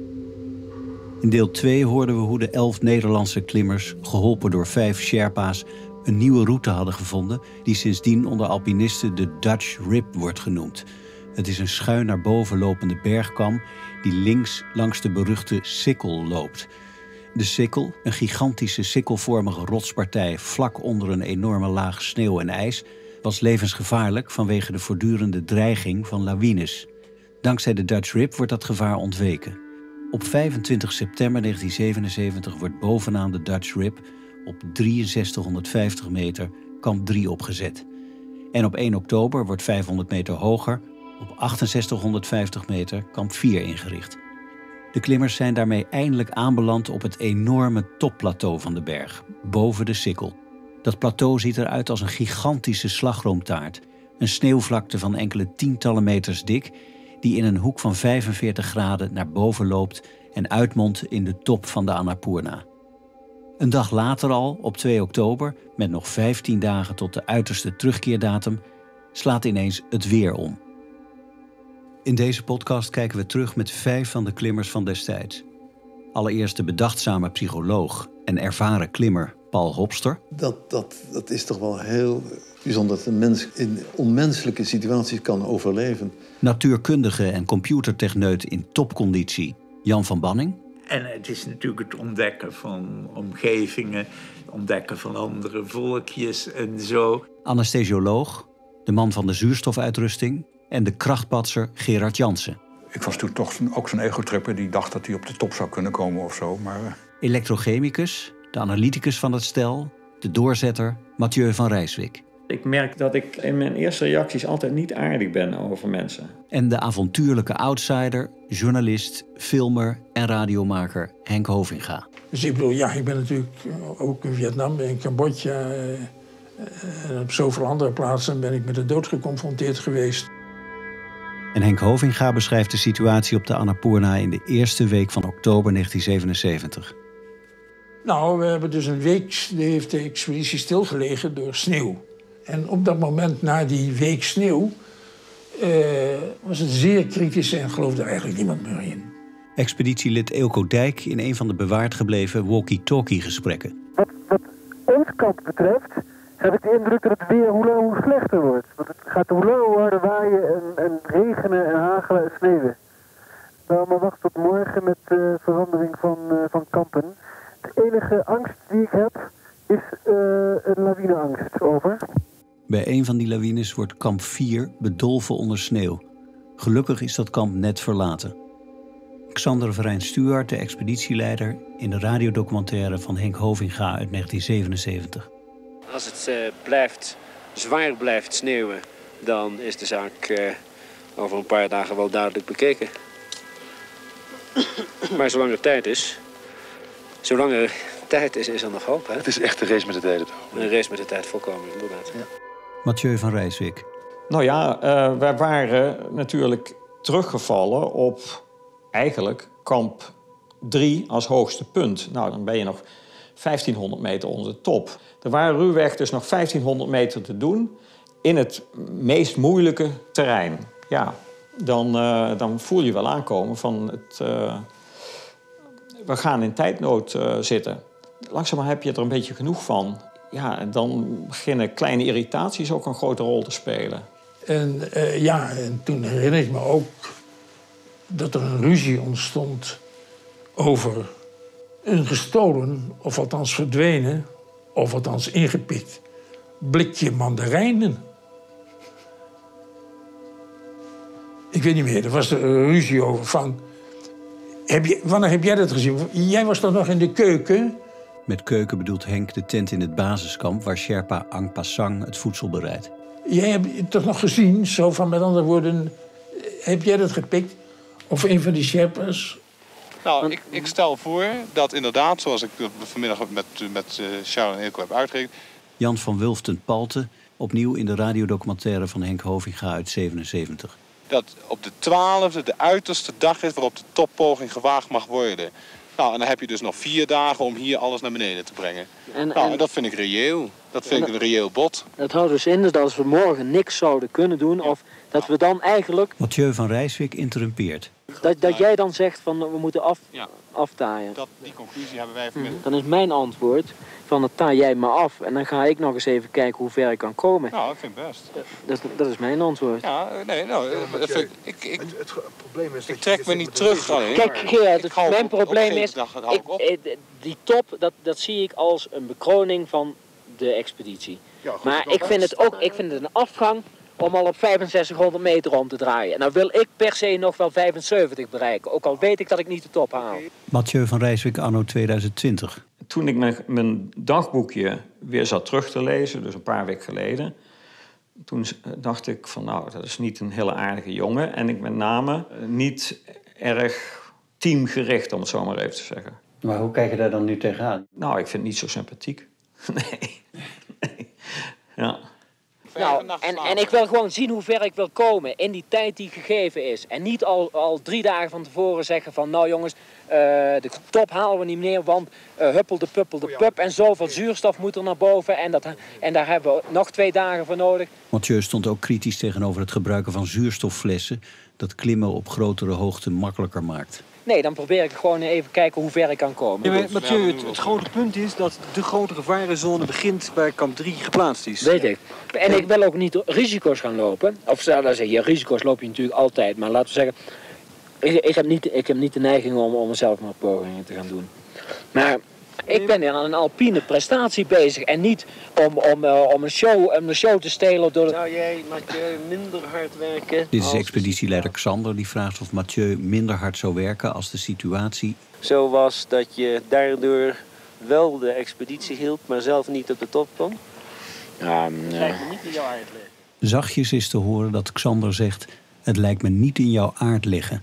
Henk Hovinga, die al vaker oneenigheid met Xander had gehad, gaat daarop in. Maar je ja, moet, moet je nou antwoord Je vraagt hem wat en, je, je, en je, geeft, je geeft voor hem het antwoord. Nee, nee ik vind het gewoon helemaal geen vraag waar ik over na wil denken. Kijk eens, ik wil, ik wil op de top komen. Henk, heb je een vuur? Ja, daar zal ik me rot voor. Henk Hovinga nu. En uh, ja, er was een soort moedeloze stemming van nou, het wordt niks meer, et cetera. Ik heb dus vijf dagen daar in die tent uh, liggen te rotten met vier anderen. En ik moet je zeggen, dat gaat op de duur ook niet lekker ruiken. Want je kunt niet even je kleren wassen. Dus je ligt, je slaapt en je, je leeft in die kleren. Op de berg heb je in de tent een pisfles een drinkfles met een, met een vrij wijde opening, zoiets van 10 centimeter, met een schroefdopper op. En daar staat pisfles op, dus dat je niet zo'n fles niet verwaart met een, met een andere fles. Maar Xander had de gewoonte om die fles naast zijn hoofd te zetten. Er stond dan altijd die fles open, niet bepaald wel riekend geurend. En daar heb ik dus toen gezegd van... Sander, kun je het niet doen? En er kwam toen een soort antwoord op... Ach joh, stel je niet aan. Maar hij veranderde het niet. Oh nee? Nee. Paul Hopster. Genieten is er op dat moment ook helemaal niet bij, hoor. Nee, je bent gewoon permanent aan het lijden dan. Je bent permanent aan het lijden, ja. Wat, wat, wat vreselijk is, dat ellendige hoesten de hele nacht door. Nou, daar, daar ga je niet, niet, niet, niet lekker van, van slapen. Ja, maar voor mij is het, het, het zinvol lijden, want het, is een, een, een mijzelf opgelegde taak. En, en, uh... Ja, dus jij, jij ging niet alleen voor de top, maar jij ging ook voor je onderzoek. Absoluut. Maar hoe kom je zo'n dag dan door? Nou ja, lezend, schrijvend, ouwehoerend, slapend. Jan van Banning. Wat doe je? Nou, er werd hier gezegd uh, bridge en, en whisky. Er waren wel vrij goede gesprekken. Uh, mijn ervaring ook, ook met uh, gewone weekendjes is dat er. Uh, dat je komt de tijd wel door met intelligente gesprekken. De meeste van die, die jongens zijn. zijn best geïnteresseerd in van alles. Gerard en Mathieu praten veel over muziek. Ik herinner me dat we daar nog wel uh, vioolsonaten... Nee, nee een, een kwartet van Beethoven, dat 132e uh, uh, kwartet. Dat hij er toen over had dat het in de Lydische toonsoort stond of zo. En uh, toen waren we ergens op 5000 meter. En dat, ja, dat ik dacht... In de Lydische... De, de Lydische, Lydische toonsoort. Oh, dat is een combinatie van tonen of zo? Ja, ja een soort toonladder in een bepaalde... en, en ik dacht van nou... Maar dat is Mathieu, die altijd, die altijd het, het naadje van de kous wil weten. Het, het, ja. het, het, diepere. En dat was altijd heel prettig om met hem te praten erover. Ook het lezen van boeken is een belangrijke uitlaatklep, zoals blijkt uit dit walkie-talkie-gesprek. En nog even één verzoek. Als er morgen mensen naar boven gaan, kan er dan voor enige literatuur gezorgd worden. Want Jan heeft niets meegenomen en ik heb een boek dat uit is. Dus eh, daar heb ik niet te reserveren. Over. Eh, we zullen zien of we iets bij elkaar kunnen scharrelen. Over. Dankjewel. Nog één vraag van Henk Overgaan. Waar is een duvet op het ogenblik is? Over. Eelco Dijk vraagt vervolgens aan kamp 3 waar het duvet van Henk is. En duvet is een ouderwets woord voor donsjek. Waar is zijn duvet? Over. Dat heeft eh, Jan op het ogenblik aan. Die heeft twee duvetten aan. Over. Paul Hopster antwoordt dat Jan van Banning het duvet aan heeft en zelfs nog een tweede gebruikt. Eelco vraagt vervolgens of dat duvet zo snel mogelijk naar beneden kan. En Paul zegt dat hij de walkie-talkie aan Jan geeft. Eh, ik heb dat dus als slaapzak mee naar boven genomen. Dat is gewoon jammer voor hem. En dat zal... Ik hoor Jan hier zeggen dat het jammer is voor Henk, maar dat het duvet alleen naar beneden komt als er een slaapzak weer naar boven gaat. Over. Ja, dat is natuurlijk onzin. Als er morgen vijf mensen naar beneden komen, kan het duvet ook mee. Over. Als er vijf mensen naar beneden komen, dan kan die duvet ook mee naar beneden. Als er een slaapzak naar boven komt, komt er een duvet naar beneden. Oké. Oh. Herhaling van zetten. Jan geeft Henk zijn duvet alleen terug als er een slaapzak naar boven komt. Eelco wordt geïrriteerder. Nee, dat is niet eh, terecht wat je nu zegt. Het is niet terecht wat je nu zegt. Henk heeft dat duvet gewoon nodig. En als er vijf mensen naar beneden gaan, liggen er vier slaapzakken voor Nop. Mag ik nu Xander nog even? Jan vraagt nu ineens om Xander aan de walkie-talkie te krijgen. Daarmee Eelco totaal negerend. Nee, je moet eerst zeggen of je morgen het duvet meegeeft, ja of nee. Over. Xander, je vroeg mij om de zuurstofinventaris. Jans poging om de aandacht af te leiden slaagt, althans tijdelijk. Hij krijgt Xander te spreken. Pas minuten later komt Eelco terug op de kwestie van het duvet. Top 3, kunnen jullie mij verstaan, over?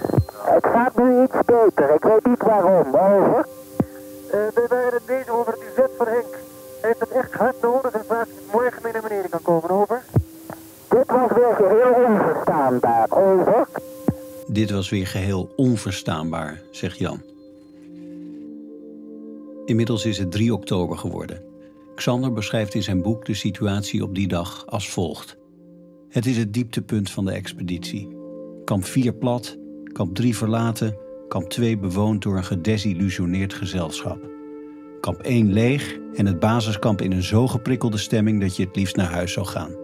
Het ergste is dat niemand behalve onszelf zal begrijpen dat we al iets van betekenis bereikt hebben: het overwinnen van de markante rip. Xander doelt op de route die later de Dutch Rip is gaan heten.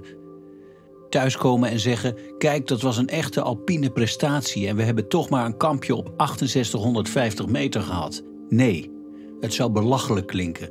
Een vernedering waar we ook maar liever niet aan denken. Rond deze tijd gaat Mathieu in gesprek met Xander. Uh, ik heb op een moment gezegd tegen Xander... Van, Xander begon te denken van ja, als we nou uh, uh, die terugreisdatum... Ik denk dat die vast lag, maar we kunnen eventueel terugvliegen vanuit een vliegveldje wat in de buurt lag. Wat in ieder geval geen tien dagen lopen was. En toen heb ik tegen hem gezegd van het, het gaat niet dat je er nog vijf dagen bij kunt breien. Het gaat om de spankracht die wij als groep hebben om dat nog te doen. En ik voel zelf dat, dat, dat ik er nog wel een week tegenaan kan gaan, maar uh, geen tien dagen meer of zo. Zo'n soort gesprek hebben we toen gehad. Gesprek, zo'n soort uh, discussie hebben we toen gehad. Ja. Dus jij hebt eigenlijk Sander tot een doorbraak geforceerd? Ja, ik denk dat ik. Uh, dat als ik, jong jochie? Ja, als jong jochie, maar, maar in ieder geval. Tegen de 54-jarige leider? Ja, maar dat doet er niet zoveel toe. Maar ik had natuurlijk wel voor iedereen laten zien wat ik kon.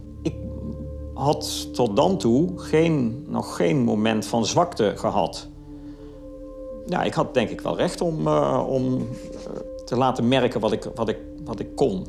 Wat ik nog wilde doen. Ja. Dat, dat heeft hem wel overtuigd. Want dat was, dat, daar was hij het toen ook al heel snel mee eens. Dat, dat we sneller moesten gaan werken. Dus niet meer ploegjes laten afwisselen, maar gewoon... Dit is ons uh, topteam, om het zo maar even te zeggen. Maar dat was dus eigenlijk ook een soort oproep om een keuze te maken uit de ja, sterkste... Ja, ja, ja, ja. In zijn boek over de expeditie Annapurna 8091 meter schrijft Xander... Ook Mingma's stemming, Mingma is de leider van de Sherpa's, is gedrukt, al ziet hij toch nog hoop. Hij heeft een zeer lage dunk van de prestaties van de members. Er zijn maar twee sterke Shahibs, Nederlanders, en dan misschien nog twee die redelijk mee kunnen. Het is pijnlijk dit te horen, maar het is de waarheid. Ik pres hem de namen te noemen van de twee redelijke en sterke. Hij bloost haast, maar komt er dan toch mee over de brug. Ik ben niet verbaasd, het zijn dezelfde als ik in mijn hoofd heb. Xander vermeldt in zijn boek niet de namen. Dus vraag ik het in 2020 aan Mathieu. Hij had het over twee sterke en twee redelijken. Mingma? Ja. Oh, dat weet ik al niet meer. Ja. ja. Jan van Banning? Er waren eh, er een stuk of vijf, zes die boven de rest uitstaken qua kracht en volhouding. En wie waren dat? Dat was eh, Mathieu, Ilko, Gerard, Paul. Ikzelf reken me er ook wel toe. Ja, ik denk dat dat, dat, dat ze wel een beetje waren. En dan Mingma en Sonam, de Sherpa's. En Govinga?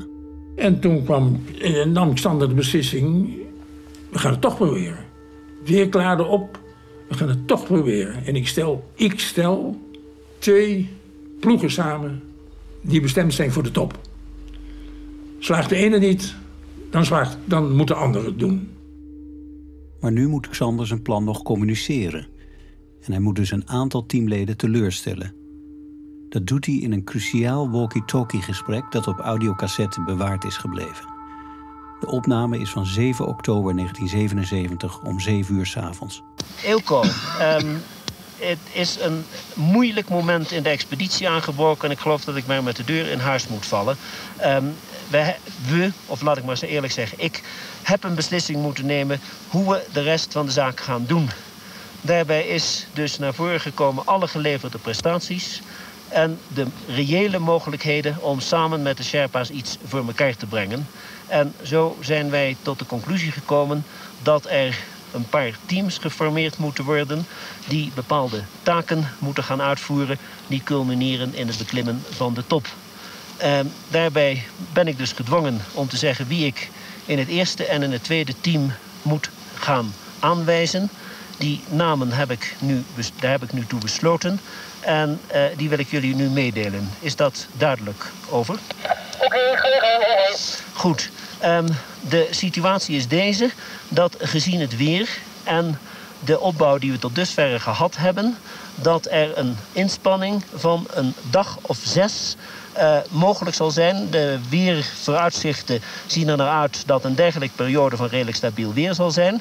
En daarvoor zal dan van overmorgen af door acht mensen boven kamp 2, of boven kamp 3 eigenlijk, geopereerd moeten worden. En die acht mensen bestaan uit vier Sherpa's en vier members. Die vier Sherpa's en vier members zijn in twee groepen verdeeld een groep van vier, dus twee aan twee, die een echt topteam gaan vormen.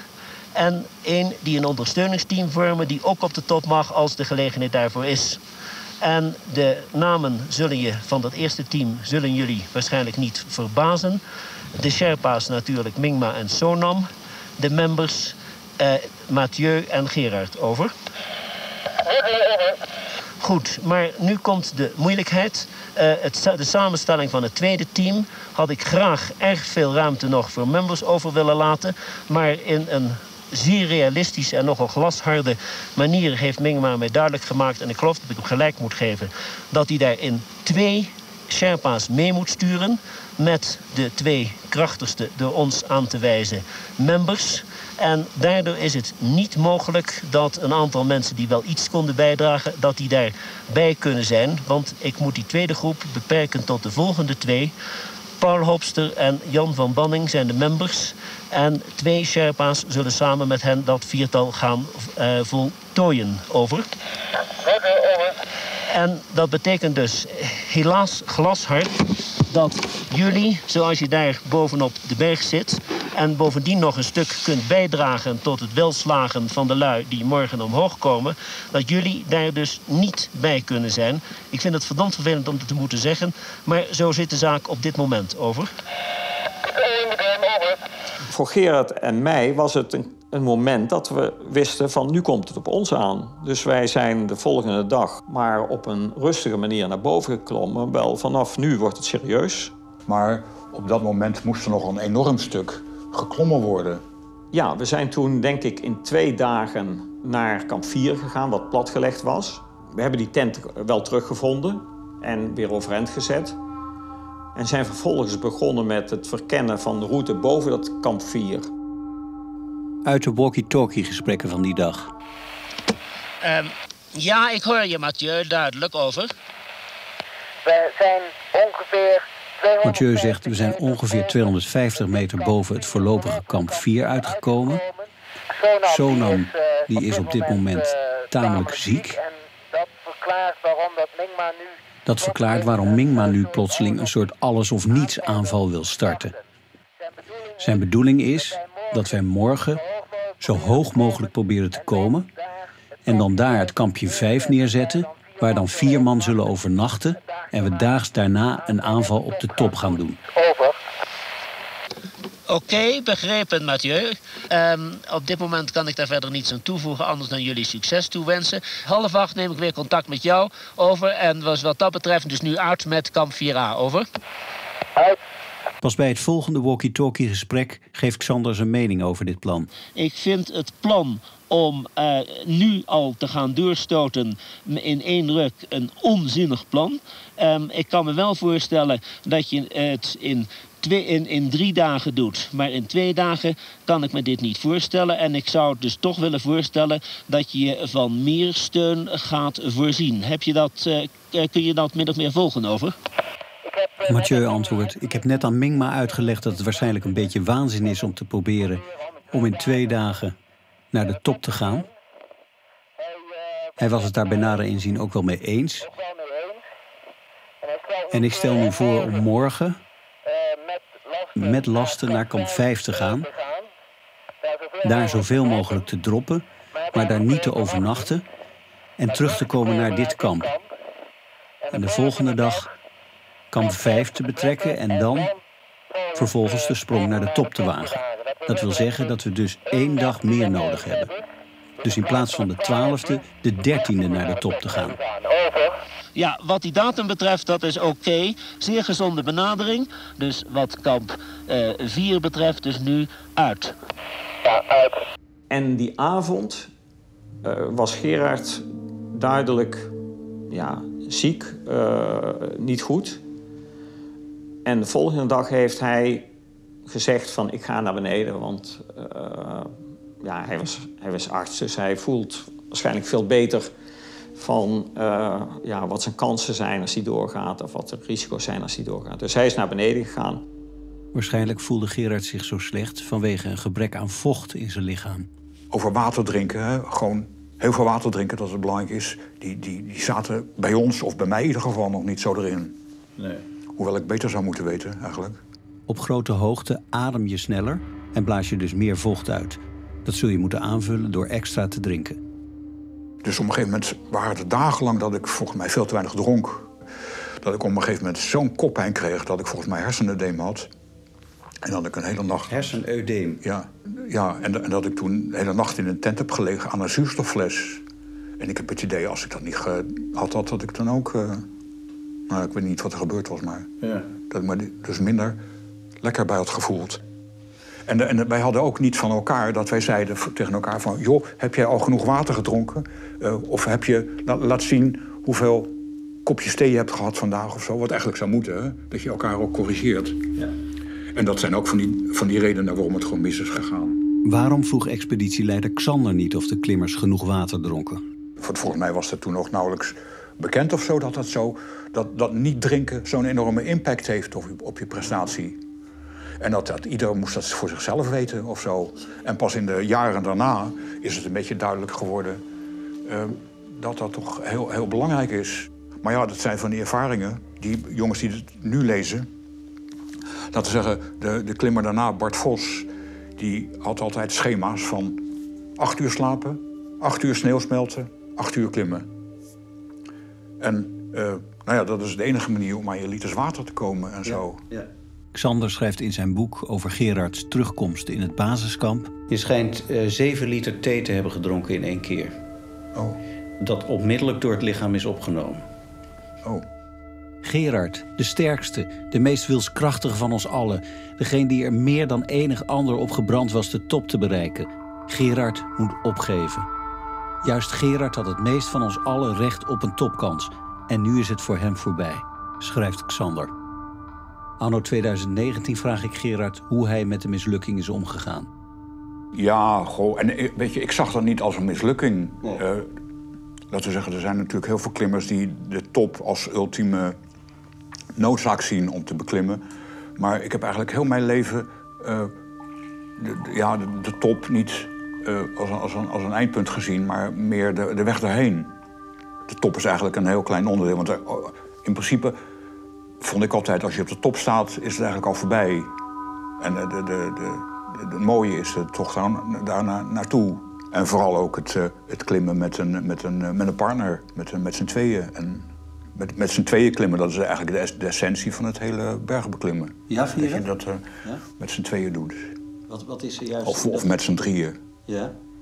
Maar, is het het samenhorigheidsgevoel van eh, het samen een, een karwei opknappen? Ja, een soort verbondenheid of zo. Misschien meer dan samen iets doen.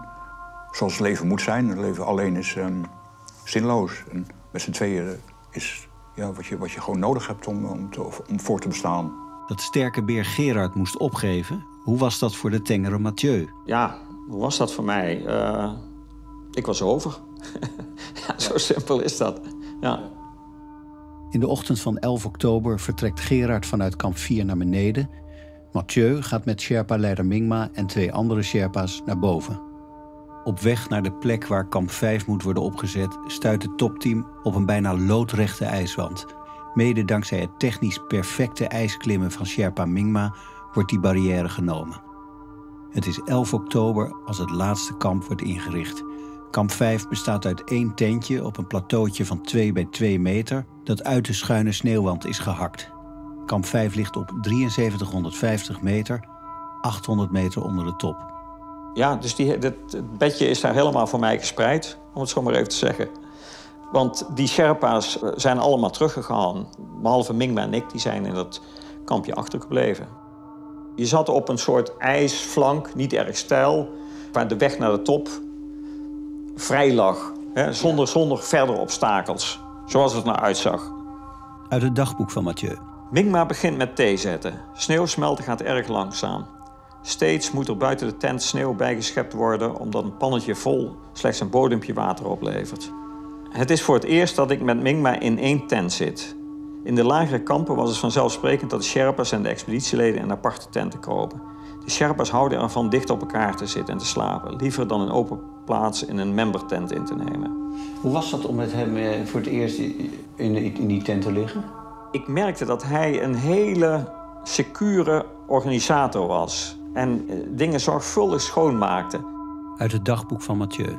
Gelukkig heb ik geen last van hoofdpijn, alleen mijn darmen rommelen wat. In de afgelopen weken zijn veel civilisatiegebruiken verdwenen. Boeren, rochels en winden worden soms met enige triomf in loop gelaten. Een raar gevoel van comme il faut tegenover Mingma zegt me dit weer wat in te tomen, wat maar moeilijk lukt. Ons beeld van de Sherpa's was toch een beetje van, nou ja, knoeien, niet zo hygiënisch, maar dat was, dat was absoluut niet Mingma. Ging hij ook tegen jou aan liggen, net zoals hij tegen de andere Sherpa's deed? Ja, kijk, zo'n tentje is eh, niet breder dan deze tafel. Hè? Dus je ligt gewoon tegen elkaar aan. En, en was dat eh, eh, awkward, zoals ze nu zeggen? Nee, nee. Oké, nee, dat went gewoon snel. Ja. Oké, eh, dan vervolgen we nu het gesprek met kamp 4.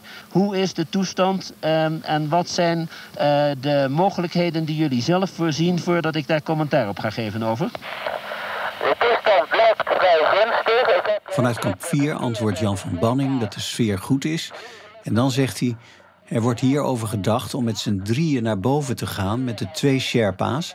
en om dan een extra tent en slaapzakken mee naar kamp 5 te nemen. Het doel van die actie is natuurlijk om een tweede toppoging te gaan wagen de volgende dag. Jan van Banning, anno 2019. Van kamp 4 naar kamp 5, toen was er twijfel of ik een tent extra mee moest nemen. En zuurstof ook. En eh, Xander die was daartegen. Die vond eigenlijk dat het zo klein mogelijk moest, omdat we zo weinig tijd hadden en zo. En omdat hij kamp 4 ook wilde bewaren voor eh, opvang van als er problemen waren.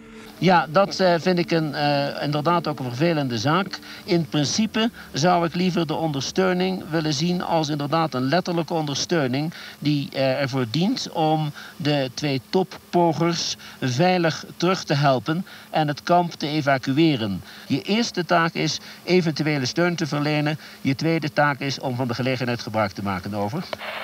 Dat is duidelijk, maar daar ben ik niet van harte mee akkoord. Jan zegt dat hij hier niet mee akkoord is en dat hij wel wil instaan voor een extra tent. Met andere woorden, dat hij, als die tent achtergelaten moet worden na zijn toppoging, hij die tent dan wel uit eigen zak zal betalen. Uh, Jan, ik ben het 100% met je eens wat het materiaal betreft. Ik dacht eerder aan de veiligheid van de mensen die de poging ondernamen over. Oké, dat is dan afgesproken. Jan gaat door de knieën. Er komen geen extra slaapplaatsen in kamp 5. Dat zal een dag later cruciale gevolgen hebben. Uh, kamp 3, kamp Dan komt Lucas Wildervank vanuit kamp 3 aan de walkie-talkie. Die heeft zich geërgerd aan het voorstel van Jan. En hij zegt, er liggen ons hier op te winden. Hoe zit dat? De ondersteunploeg zit nu voor zichzelf al meteen een tweede poging eruit te halen. Is het niet ongelooflijk onverstandig als Mingma en Mathieu morgenavond dood en doodmoe terugkomen? Afgeknapt liggen, misschien in kampje 4, dat de anderen dan doorstomen naar de top en als er dan wat gebeurt is er niemand die kan helpen. Um, dat is nu juist de instructie die ik als laatste aan. Het antwoord van Xander is een herhaling van zetten. Team 2 moet in de eerste plaats team 1 ondersteunen. Oké Mathieu, dan uh, speciaal aan jullie tweeën daarboven een uh, bijzonder goede nachtrust toegewenst. En veel sterkte voor de dag van morgen. Verder ook aan de mensen in 4 en in 3 en in basiskamp een goede nacht gewenst. Dan uh, hiermee uit voor ons allemaal.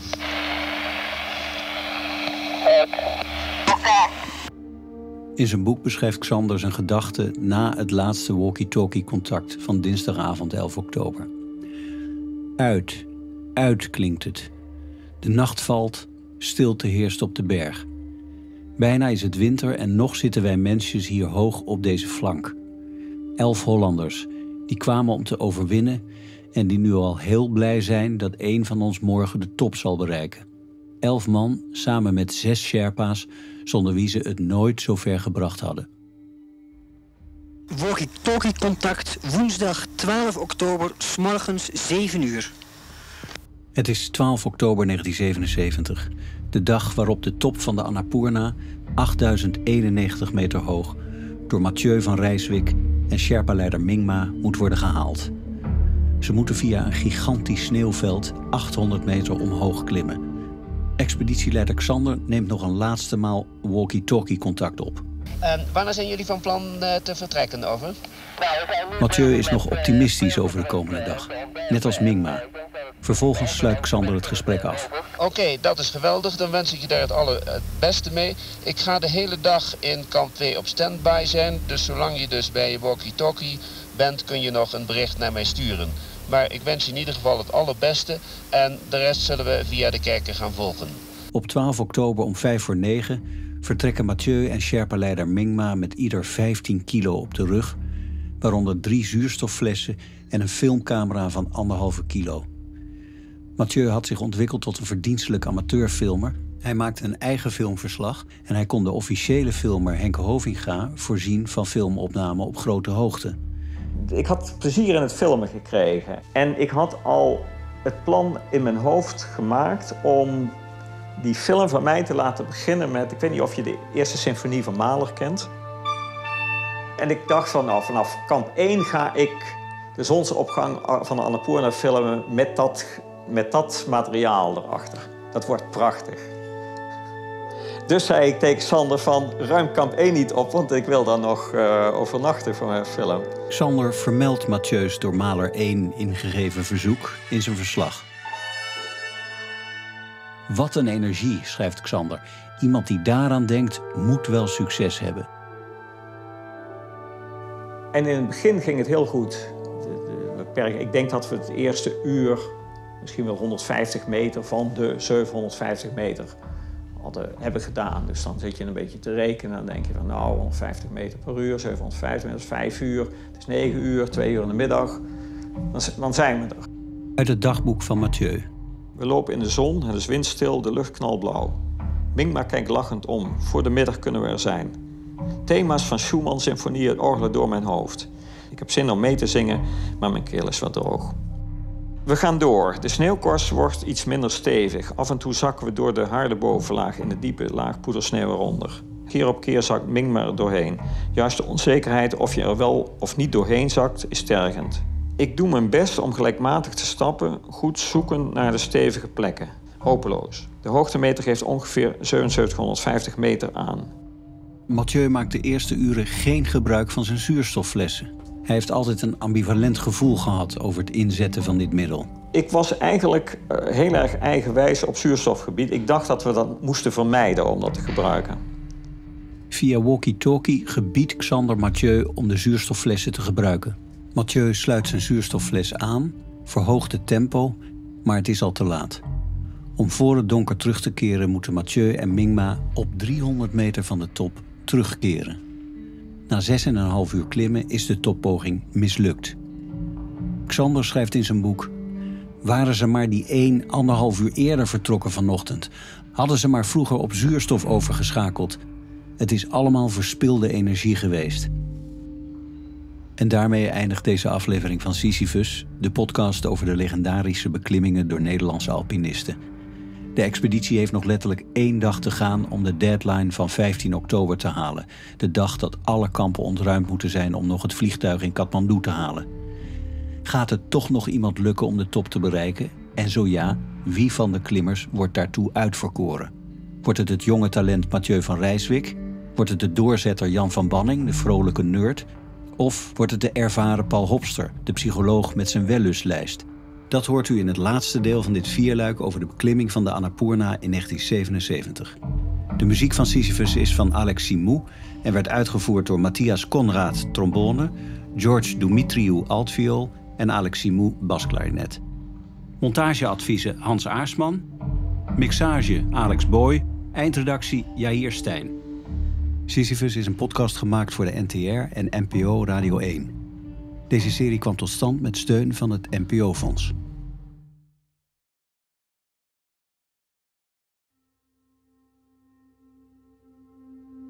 U luistert naar Sisyphus, de podcast over de legendarische beklimmingen van Nederlandse alpinisten. Dit is het laatste deel van het vierluik over de beklimming van de Annapurna in 1977, getiteld Zonder touw. In deze podcast kijken we terug met vijf van de klimmers van destijds. Allereerst de bedachtzame psycholoog en ervaren klimmer Paul Hopster. Alle eh, deelnemers hebben eh, angstmomenten gehad, niemand, niemand zonder. Natuurkundige en computertechneut in topconditie Jan van Banning. Er was om een helikopter gevraagd, maar een helikopter was in gebruik bij prins Bernhard. Die was toen op jacht in Nepal. Anesthesioloog, de man van de zuurstofuitrusting en de krachtpatser Gerard Jansen. Ja, maar er vallen zoveel rotsblokken. Als je, als je eh, dan niet wil lopen, dan moet je de bergen niet ingaan. Elektrochemicus, de analyticus van het stel, de doorzetter Mathieu van Rijswijk. Ik kan me in angsten ook, ook heel moeilijk inleven. Daar heb ik, heb ik eigenlijk geen affiniteit mee. En de avontuurlijke outsider, journalist, filmer en radiomaker Henk Hovinga. Sander lulde me door over de uil en over de regering en wat hem allemaal. Ik denk van man, kijk nou eens om je heen, dat maak je nooit meer mee. In deel 3 was te horen hoe na een lange pauze vanwege slecht weer twee topteams werden samengesteld die een laatste poging zouden wagen om van kamp 4 op 6800 meter naar de top op 8091 meter te komen. De toppoging op 12 oktober door team 1, bestaande uit Mathieu van Rijswijk en Sherpa-leider Mingma, strandt omdat het klimtempo te laag ligt. We beginnen bij het moment waarop Mathieu en Mingma terugkeren bij de enige tent van kamp 5 op 7300 meter. Mathieu van Rijswijk leest voor uit zijn dagboek. De afdaling gaat snel. Als het tentje in zicht komt, houdt Mingma duidelijk in. Het is of hij zich de moeilijke situatie die nu in kamp 5 ontstaat realiseert. Het is over half vijf. Er is niemand te zien. Ze zijn teruggegaan, denk ik, opgelucht. Dichterbij zien we de rugzakken staan. Uit de tent klinken stemmen.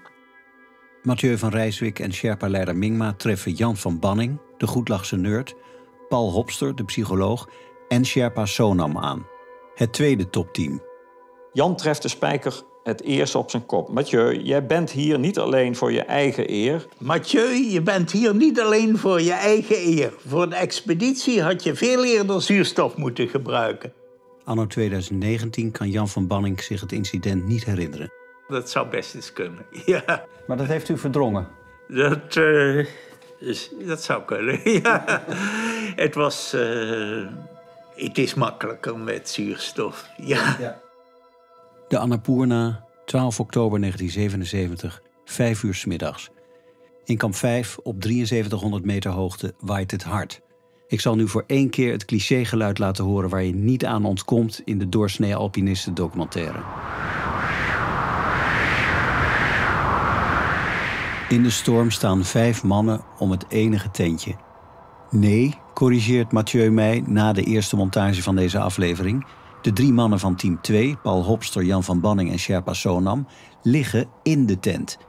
Team 2, Mathieu en Mingma, staan buiten de tent. De hele discussie wordt gevoerd niet alleen door de storm, maar ook door het tentdoek heen. Ook de reprimande van Jan tegen Mathieu over het gebruik van zuurstof was door het tentdoek heen geschreeuwd. Hoe dan ook, het tentje van kamp 5 biedt plaats aan maximaal, maar dan ook echt maximaal drie man. Twee van de vijf mannen zullen moeten vertrekken. Ja. Dus dat was een, eh, een probleem. En eh, toen zaten we in een hele lastig... Want ja, wie zou dan naar beneden gaan? Mathieu biedt eerst excuses aan vanwege het te laat gebruiken van zuurstof en stelt voor om zelf naar beneden te gaan. Uit het dagboek van Mathieu. Maar Mingma is beslist dat ik moet blijven... en roept dit naar Jan en Paul in de tent. Het is mij niet duidelijk of hij inderdaad vindt dat ik de sterkste ben... of dat hij tegenover mij een soort verplichting voelt... nu onze poging van vandaag mislukt is. Ik zeg dat in ieder geval Mingma naar de top moet. Maar hij zegt dat zijn rol alleen die van gids is... om ons naar de top te helpen. Mingma legt zijn rugzak af en kruipt half de tentsluis in... om met Sonam te overleggen. Zelf heeft Mingma al verschillende 8000ers op zijn naam staan. Voor Sonam zou het een grote stap in zijn carrière als gids betekenen. Mingma wil dus dat Sonam blijft en hij wil zelf naar beneden. En verder heeft Mingma een voorkeur voor Mathieu. En hij zegt tegen Mathieu... Jij, jij mag niet naar beneden. De- de- Jij moet blijven. Volgens het dagboek van Mathieu duurt de discussie door het tentdoek 10 minuten. Als de ongelukkige afdalers nog voor het donker in kamp 4 willen aankomen, moet er snel een beslissing worden genomen. Mathieu en Sonam gaan dus morgen mee. Wie wordt nummer 3? Paul Hopster of Jan van Banning? En toen heeft Jan van Banning als eerste gezegd... ik ga wel naar beneden. Uit Mathieu's dagboek. Dan neemt Jan resoluut een beslissing en zegt dat hij naar vier zal afdalen. Jan van Banning in 2019.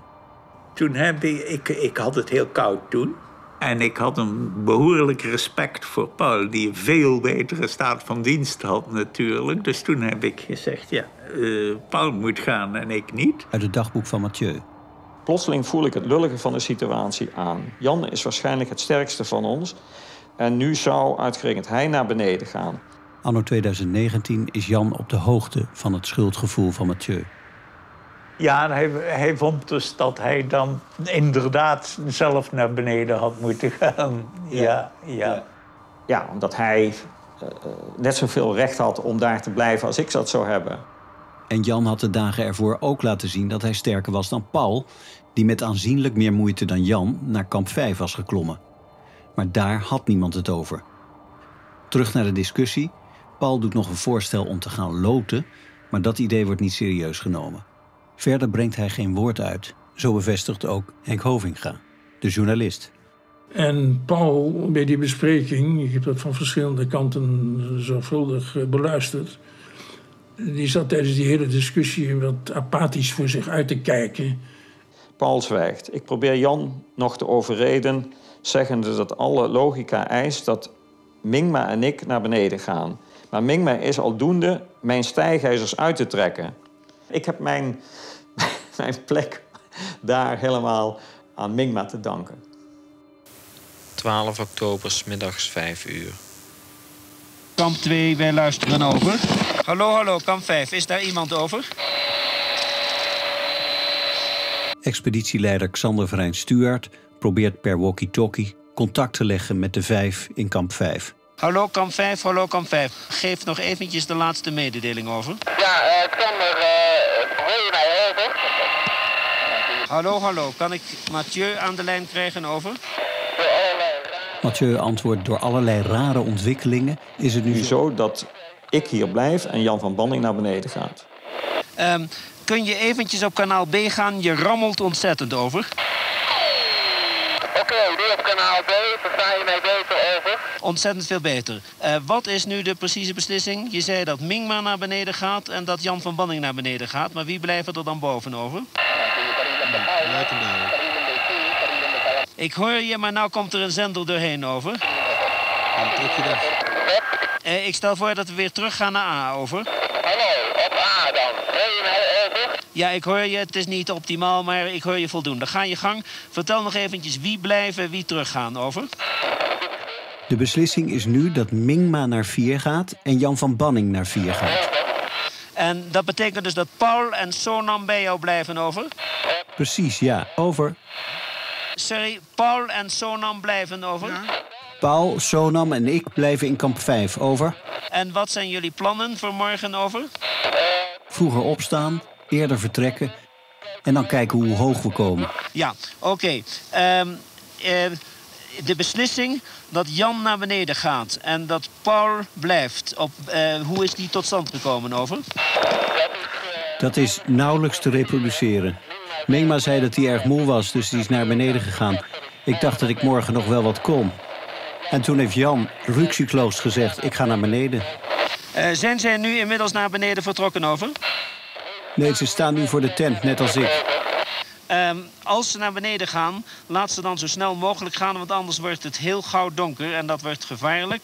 Ehm, ik wil in deze geen beslissing nemen, want ik heb het gevoel dat jullie dat onder elkaar moeten doen. Maar de redenering die jij opgehangen hebt, eerste team heeft gepoogd en gefaald, dus moet de tweede. Daar hou ik meer van. Ehm, als het zo is dat jij het gevoel hebt dat je mee kunt gaan en er iets aan kunt doen, dan heb ik daar op zichzelf geen bezwaar tegenover. Ja, inderdaad. Dat is een redenering die net zo vaag is als degene die hier gehouden is. En eh, inderdaad, het is een uiterst lullige toestand over. Ja, jullie moeten het onder elkaar doen. En het advies dat jullie mij geeft, als het onzin is, dan zal ik nee zeggen. Maar anders dan sluit ik me er direct bij aan. Over. Ehm, nou, ja. Ik heb... Ik heb nog... Ik heb nog geprobeerd om Jan te overreden. Ik kan ook naar beneden gaan. Maar hij is nu niet meer van zijn stuk te brengen. Vraag hem eens aan de lijn. Journalist Henk Hovinga fluistert nu tegen Xander om Jan van Banning aan de lijn te vragen. Ehm, wat? Vraag hem eens aan de lijn. Jan van Eh, mag ik Jan van Banning zelf even spreken? Over. Ja, oké.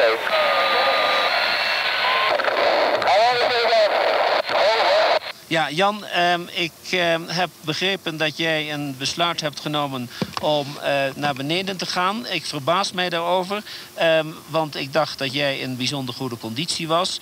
En als sterke man in het tweede team zou je toch in aanmerking gekomen zijn. Kun je dit nader toelichten over? Iemand moet naar beneden gaan. Maar ik sta hier te vernikkelen en het moet gauw gebeuren. Anders is het hier niet vol te houden. We kunnen hier niet met z'n vijven blijven. Ja, ik ben het geheel met je eens. Twee mensen moeten nu snel naar beneden. Ik vind dat jullie dat onder elkaar moeten bepalen. En ik ben er ook voor dat Mingma gebeurt. Maar wie de ander is die naar beneden gaat, bepalen jullie dat onder elkaar. En dan hoor ik het wel. Over. Hallo, hallo. Kan ik misschien Mathieu weer aan de lijn krijgen? Over. Hallo, hallo. Kamp 5, kamp 5. Xander blijft nog een half uur proberen contact te krijgen met kamp 5, maar krijgt geen enkele reactie. Kamp 5. Zijn jullie nog in de lucht? Over. Ja, dan wordt de walkie-talkie-opname weer heel slecht. In ieder geval is te horen hoe Xander het hete nieuws vervolgens aan de klimmers in kamp 3 vertelt. En dan zegt hij: Er is een ruzietoestand geweest waar wij niet precies van weten. Maar kennelijk heeft Jan daar zeer snel gezegd: Nou, dan ga ik naar beneden. Basta. En toen heb ik nog geprobeerd om een redelijk voorstel uit hun te krijgen. Want naar mijn idee zou Jan eigenlijk beter dan Paul geweest zijn. Maar in ieder geval, toen hebben ze de walkie-talkie afgezet.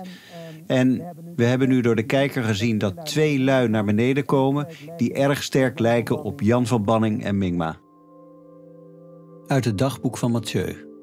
Jan geeft me de walkie-talkie terug en vraagt mee te helpen zijn stijgers vast te maken. Ik voel het als het eigenhandig voltrekken van een vonnis dat mezelf had horen. Oké, kan je die nog een keer doen, die, die zin? Ja, nee. die- Dat is mooi dramatisch. Ja, dat is het hoogtepunt van is de veel- docu. Veel, is veel te dramatisch. Mathieu heeft grote moeite met zijn proza uit 1977. Met alle macht probeer ik een betere voordracht uit hem te persen. Jan geeft me de walkie-talkie terug en vraagt me te helpen zijn stijgijzers vast te maken. Ik voel het als het eigenhandig voltrekken van een vonnis dat mezelf had behoord te treffen. Ja, meer the- theatertalent heb ik niet. Ik voel het als het eigenhandig voltrekken van een vonnis dat mezelf had horen te treffen. Dus toen is, eh, toen is Mingma samen met Jan zijn naar beneden gegaan, naar dat lagere kampje. En Paul, Sonam en ik zijn in het hoogste kampje achtergebleven. Jan van Banning, mogelijk de sterkste van allemaal en de favoriet van expeditieleider Xander, verspeelt zijn kans om de allereerste Nederlander te worden die een berg van 8000 meter bedwingt. 42 jaar later bespreek ik dit moment met Jan. Voor, voor de, de expeditieleider was u de uitverkorene. Oh, nee, dat... eh, dat eh, Ik citeer nog even uit het boek van Xander. Ik sta paf.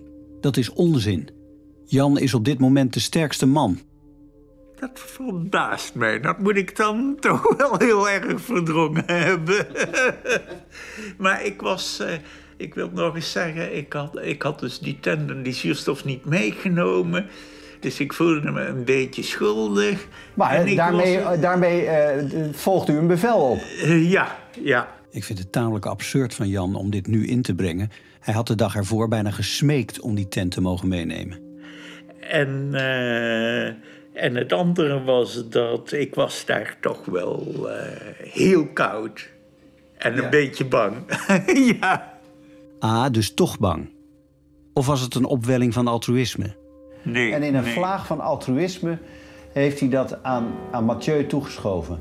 Nee. Kijk, de klok gaat, dus dat klopt. Ja. Ik, ik voelde me daar niet, niet erg happy. En eh, het is dus zeker niet een, een vlaag van altruïsme. Het is eerder een... eh, Vlaag van egoïsme. een vlaag van, eh, van zorg. Die samenging met een groot respect voor Paul uit het verleden. Door de geschiedenis wist ik dus dat Paul normaal beter was dan ik. En het was dus, eh, drong dus niet voldoende tot mij door dat op dat moment dat ik misschien beter was. Ja. Mathieu? Hij zal vast wel spijt gehad hebben, denk ik. Maar dat Ja. heeft hij mij nooit gezegd, nee. Ik had pas het gevoel dat de beslissing niet goed was toen Paul opgegeven had de volgende dag. Dus niet op dat moment, maar een dag later toen dacht ik... ja, had ik dit nou zo moeten doen? Ja. Ja. Het is de beslissing van uw leven. Het is een histo- in de klimmersgeschiedenis een historische beslissing geweest. geweest, ja. ja. Misschien net zoals die Decca-producers die tegen de Beatles zeiden... geen talent. ja. Nee, het is zo geweest. Het kan zo gaan. En u heeft er goed mee kunnen leven. Ja. Maar het was een verkeerde beslissing. Het was niet, eh, niet de goede beslissing, nee. Maar u, kan, u kunt er nog om lachen. Ik kan er nog om lachen, ja. In zijn dagboek beschrijft Mathieu wat er gebeurde op het moment dat Jan naar beneden afdaalde. Ik duik in de tent en schaam me voor de schuld van Jans aftocht. Dit is de meest dramatische beslissing van de expeditie, zegt Paul. Maar ik erger me aan dit soort statements dat geen standpunt aangeeft. Hoe Paul Hopster anno 2019 terugkeek op de beslissing van Jan van Banning, probeerde ik hem met alle macht te ontfutselen, maar er kwam niet een coherent antwoord. Wel erkende hij Maar misschien dat eh, Jan van Banning eh, meer recht had om, eh, om, om, om, om door te gaan. Later belde ik Paul op om hem opnieuw door te zagen. Mathieu was duidelijk de beste qua conditie. Dus was het eh, van, van, van Banning of, eh, of ik.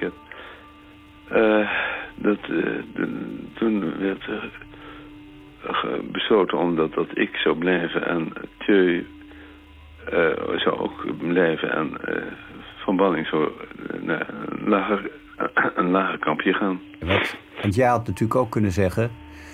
eh, nee, ik ga wel. Natuurlijk had dat gekund, ja. En waarom Maar, heb je dat niet gedaan? Dat heb ik niet gedaan, nee. Ik vroeg nog één keer waarom, maar daar kwam niks uit. Met, met z'n drieën was te veel.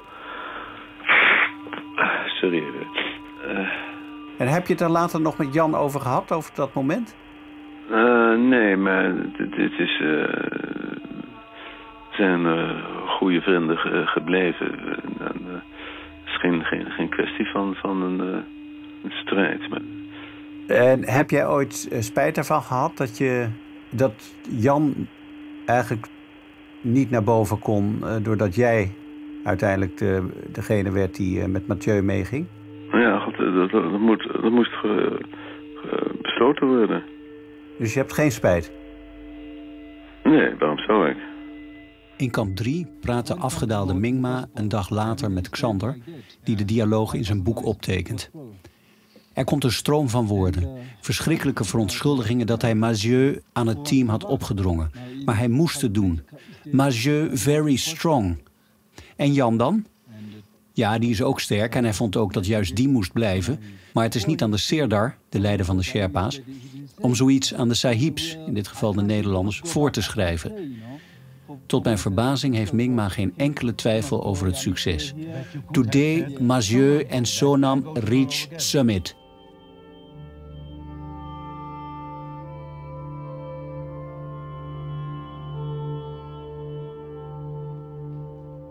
Ik citeer uit het boek van expeditieleider Xander op de avond voor de tweede toppoging. Het enige belangrijke is nu of het tweede team zal slagen waar het eerste faalde. Drie mannen, misschien wel de hoogste op de hele wereld. Ze zijn helemaal op zichzelf aangewezen. Van hen hangt alles af. Met slechte voorgevoelens trek ik mij in mijn tunneltent terug. We wachten op de dag. De laatste die ons nog ter beschikking staat. 13 oktober. Sonam is de eerste die te kennen geeft wakker te zijn. Brander aansteken, sneeuw scheppen, eten uit de hoeken van de tent bijeenrapen. Veel blikjes sardines, maar van het idee walg ik al. Ik eet meer dan ik zin heb. Crackers met frambozenjam doorgespoeld met mierzoete thee. Paul heeft weinig trek. Sonam eet champa. We waren met z'n drieën, Paul, Sonam en ik. En ik denk dat Paul al heel in het begin zei van ik ga met zuurstof omhoog.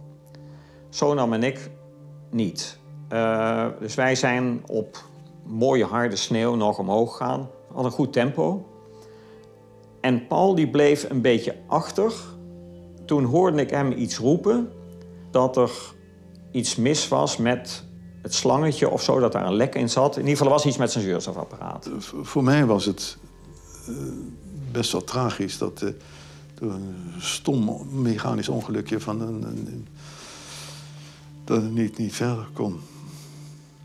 Dus vanaf dat moment waren Sonam en ik nog over. Hebben al op een vroeger moment gezegd van nou, nu gaan we die zuurstof gebruiken.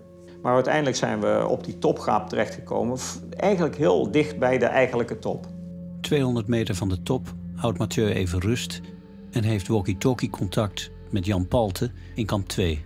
Bravo, bravo, Mathieu. Het is hartstikke goed. Over. Mathieu informeert hoe het met Paul is. Nee, we hebben dus nog geprobeerd te kijken naar het tentje in de omgeving daarvan, maar we hebben niets meer waargenomen. Dus ik ben erg bang dat Paul gewoon wacht tot jullie terug zijn, over. Walkie-talkie contact donderdag 13 oktober 1 uur. Jan Palte doet nu vanuit kamp 2 een oproep aan de mensen in kamp 3 en 4. Ik zou jullie aanraden je walkie-talkie stand-by te houden in case Mathieu in de air komt, over. Elke meter gaat zwaarder. Ik lijk wel te stikken. De gedachte aan Longodeem bezorgt me een wurgende angst. Ik let alleen nog op de meterwand voor mij, Sonam sporen nastappend. De hoogtemeter is al boven 8000 meter. Sonam blijft staan. Hij zwaait en legt zijn rugzak af. Hij heeft ongeveer 5 meter onder de top halt gehouden. We moeten samen naar de top, zo hoort het. Het is kwart over twee. We vallen elkaar in de armen. Ik ben opgelucht dat het afgelopen is. Ik haal de walkie-talkie tevoorschijn. Drie keer de zendknop indrukken en wachten. Hallo, hallo, dit is kamp 2 in de lucht, over. 4, kamp 2. Dat is natuurlijk interessant. Mathieu zegt kamp 2, terwijl die boven op de berg staat. Maar goed, De expeditie staat op de top van de Annapurna. Hallo, hakkel ik over mijn zin. De expeditie staat op de top van de Annapurna. De expeditie staat op de top van de Annapurna. Hallo. Hey. Gefeliciteerd, hartelijk geluk gewenst, Mathieu. Over. die juichstem is van Henk Hovinga, die vanuit kamp 2 meeluistert. Hier Mathieu, hier Mathieu. De, de, eh, eh, de expeditie is geslaagd. Gerard Jansen hoort het vanuit het basiskamp. En dat hij dan zoiets zei van... Hier, Mathieu, de expeditie staat op de top van de Annapurna. En wat vind je van die tekst? De expeditie staat op. Nou, geweldig. Dat hij, de, dat hij, dat hij niet zegt van ik sta, maar dat de expeditie. Dat vind ik toch wel eh, heel goed van hem. En had je dat ook voorgenomen om het zo te formuleren? Ik geloof het wel, ja. ja. Maar je zei dus niet, ik sta op de top van de... Ja, nee, dat heb ik niet gezegd. Dat had ik, dat had ik waarschijnlijk me voorgenomen om dat niet te zeggen. Ja. Juist, ja. Oké. Ja. Zo'n soort... eh, wat die maanman zei ook. small step for me, but... Ja. ja. Ja, dat vond ik toch wel geweldig van Mathieu, hoor. Maar hij was altijd de man die, die, die de expeditie gedragen heeft eigenlijk. En die Ja. geweldige manier dat eh, ja, aan ons gegeven heeft eigenlijk. Een fragment uit een televisieinterview met Mathieu na terugkomst in Nederland.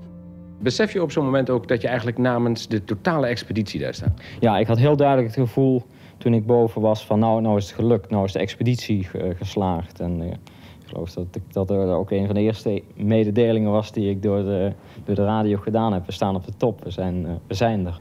Met Mathieu kijk ik naar de foto's, in feite stils uit het filmmateriaal, waarop hij met vlaggen op de top van de Annapurna staat. Dat ben jij Dit ben ik, ja. Ja. met, ik zie een Nepalese vlag. Ja, dit is Nepalees en hier staat het Nederlands vlaggetje. Ja, en dan natuurlijk de vraag, wat ging er door je heen? Ja. Nou, ik denk vooral opluchting eh, dat, het, dat het klaar was. Ja. Nou, nee, ook wel een soort blijdschap, maar Uit Mathieu's dagboek. het is kwart over twee. We vallen elkaar in de armen. Ik ben opgelucht dat het afgelopen is. Voor mij is de top geen emotioneel hoogtepunt, eerder de afsluiting van de beklimming. Een teken dat je er bent en om mag draaien. Mathieu zegt, we staan hier op de graad die ongeveer vijf bobbels stelt. En we weten niet precies welke de hoogste is. Maar we zullen alles aflopen. Het is een grootse dag. Het was dus 13 oktober en het was de laatste dag. Want we hebben dan nog een aantal dagen moesten we lopen om weer naar Kathmandu te komen. En daar wacht het, slot, het vliegtuig. Op het nippertje.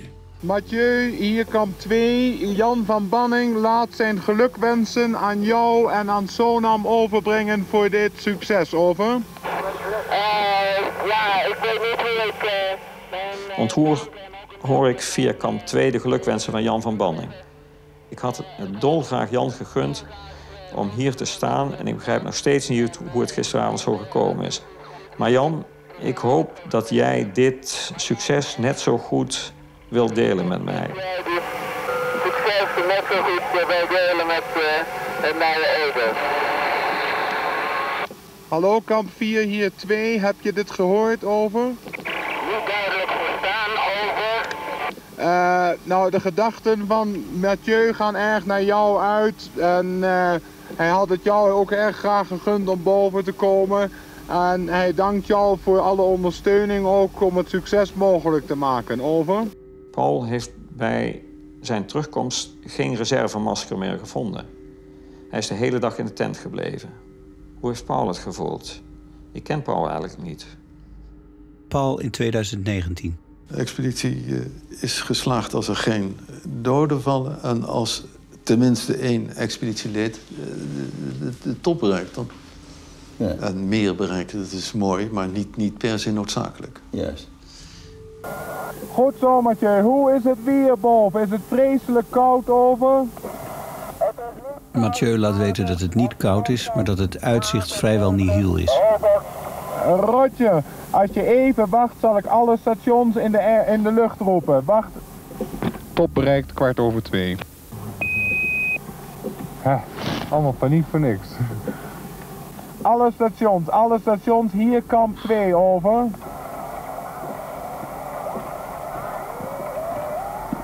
Uh, Mathieu, hier kamp 2. Uh, het lukt mij nu niet om die andere twee stations ook in de lucht te krijgen. Maar Henk wil nu met jou praten. Wacht. Mathieu, Mathieu, van harte gefeliciteerd. Ook Sonam natuurlijk. Ik neem aan dat jullie met z'n tweeën zijn. Er is, uh, Mingma komt net binnen, er is een fantastische sfeer. Het is geweldig, fantastisch. Vertel eens eventjes, hoe voel je jezelf? Voel je je uitgeput? Mathieu zegt, ik ben op mijn laatste krachten naar boven gegaan. Je begrijpt dat het gisteren een hele uitputtingsslag was. Vannacht bijna niet geslapen.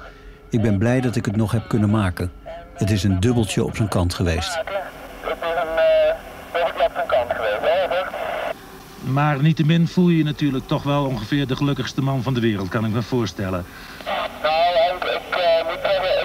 Ik zal blij zijn dat ik vandaag af kan dalen. Ik hoop dat ik verder kom dan kamp 5, want ik wil eindelijk weer eens een keer goed slapen. Dat is je van harte gegund, een goede afdaling gewenst en een veilige terugkomst hier. We zien je morgen. Het allerbeste over en uit. Dag Mathieu, dag Sonam. Uh, Sonam, Sonam, this is Camp 2. Many, many congratulations with your summit. Uh, Mingma is coming to walkie-talkie now. Wait. Please come in. Sonam wants to talk to you. Hello Sonam, hello Sonam. म सरदार मिमाबाट बोल्दैछु तपाईँ माथि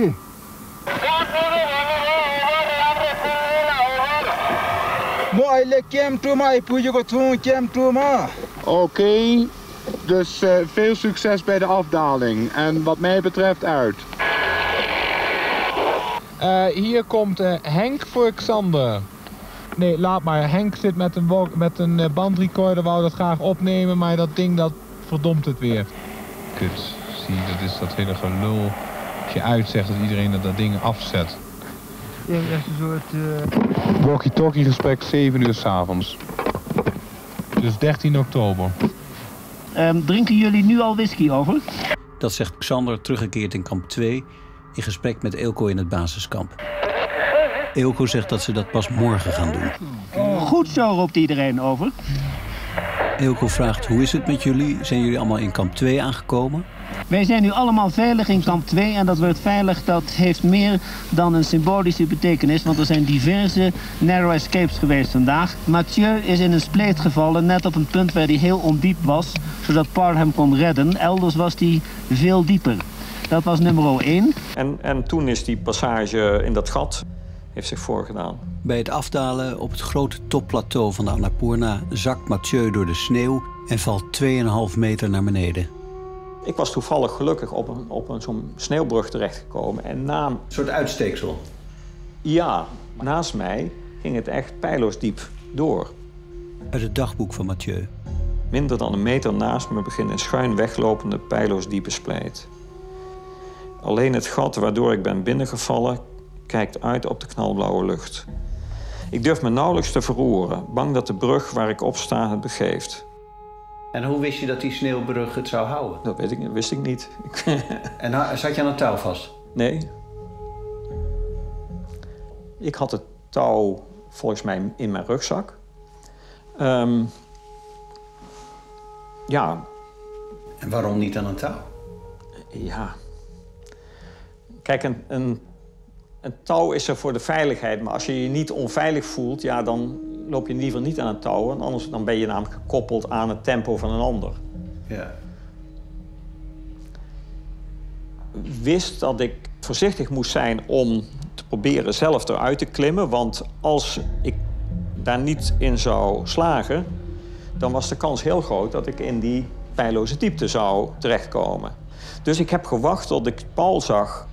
Ik steek de piekel door het gat naar buiten en begin te schreeuwen. Het lijkt minuten te duren. Zou Paul een ander spoor volgen? Eindelijk verschijnt zijn gezicht boven het gat. Gelukkig had hij mijn sporen gezien en had gezien dat daar ergens mijn spoor eindigde. Bij dat gat. Nou ja, met Tjeu zelf, die weer weer terugtocht, die, die, die, die zakte in een, in een onzichtbare gat. En ik moest hem daar, daaruit krijgen. En... Dus hij wist dat dat ik in ieder geval eh, ja, nog leefde. Verbijsterd zie ik hoe hij op, op de dunne sneeuwdeken boven de diepe spleet loopt. Paul pakt met één hand de bovenkant van de piekel vast, die ik met één hand bij zijn steel vasthoud. Zo klim ik eruit. Het touw blijft in mijn rugzak. Maar ik heb die, die eh, belevenis nog wel vaak eh, in mijn dromen meegemaakt. Ja. Niet, el, niet elke week, eh, maar ja, de laatste jaren meer dan, dan ik zal maar zeggen, de, de, de, direct na de expeditie of zo. Die belevenis die wordt, die wordt levendiger. En ook met name hoe nonchalant wij met die situatie omgingen. Want dat was eigenlijk het verbazingwekkende. Ja. Dat de nonchalance waarmee we daar rondliepen, sowieso, zonder, niet aan het touw.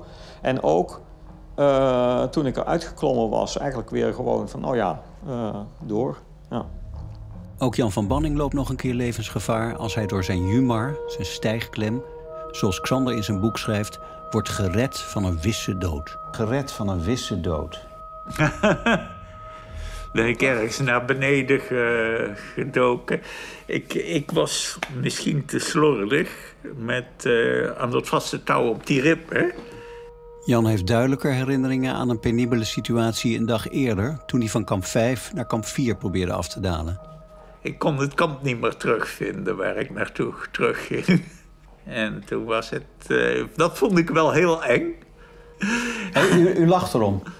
Ja, maar uh, toen ben ik uh, een kilometer naar rechts en een kilometer naar links over die, dat sneeuwveld gaan wandelen om te kijken of ik vast touw kon vinden. En tenslotte vond ik dat ook. Xander vervolgt zijn opsomming van bijna calamiteiten tijdens de afdaling. En zijn we met z'n vieren over de lawinekegel gegaan, waar, waarover, naar wij later hoorden, eh, eerder op de dag een zeer zware lawine is gegaan. We waren nog niet op weg of er kwam uit de bobsleebaan. Dat was een soort lager gelegen goot onderaan wat later de Dutch Rip is gaan heten. Een enorme lawine die het pad van Jan getroffen zou hebben als die niet in die spleet gevallen was. Daarna zijn we allemaal veilig thuisgekomen. Over. Nou, ik hoor het alweer. Over. Precies, de Annapurna is toch een vrij gevaarlijke berg. Maar we zijn er, kunnen we nu redelijkerwijs wel zeggen, zeer goed vanaf gekomen. Afgezien van natuurlijk het fantastische succes.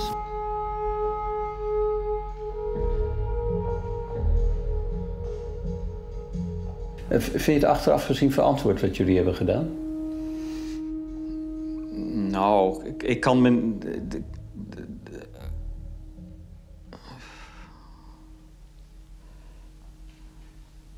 daar heb ik geen goed antwoord op. Ik denk, ik denk nu, als ik, zoals ik er nu tegenaan kijk, zou ik het nooit doen, maar nooit meer doen. Maar op die leeftijd denk je daar heel anders over.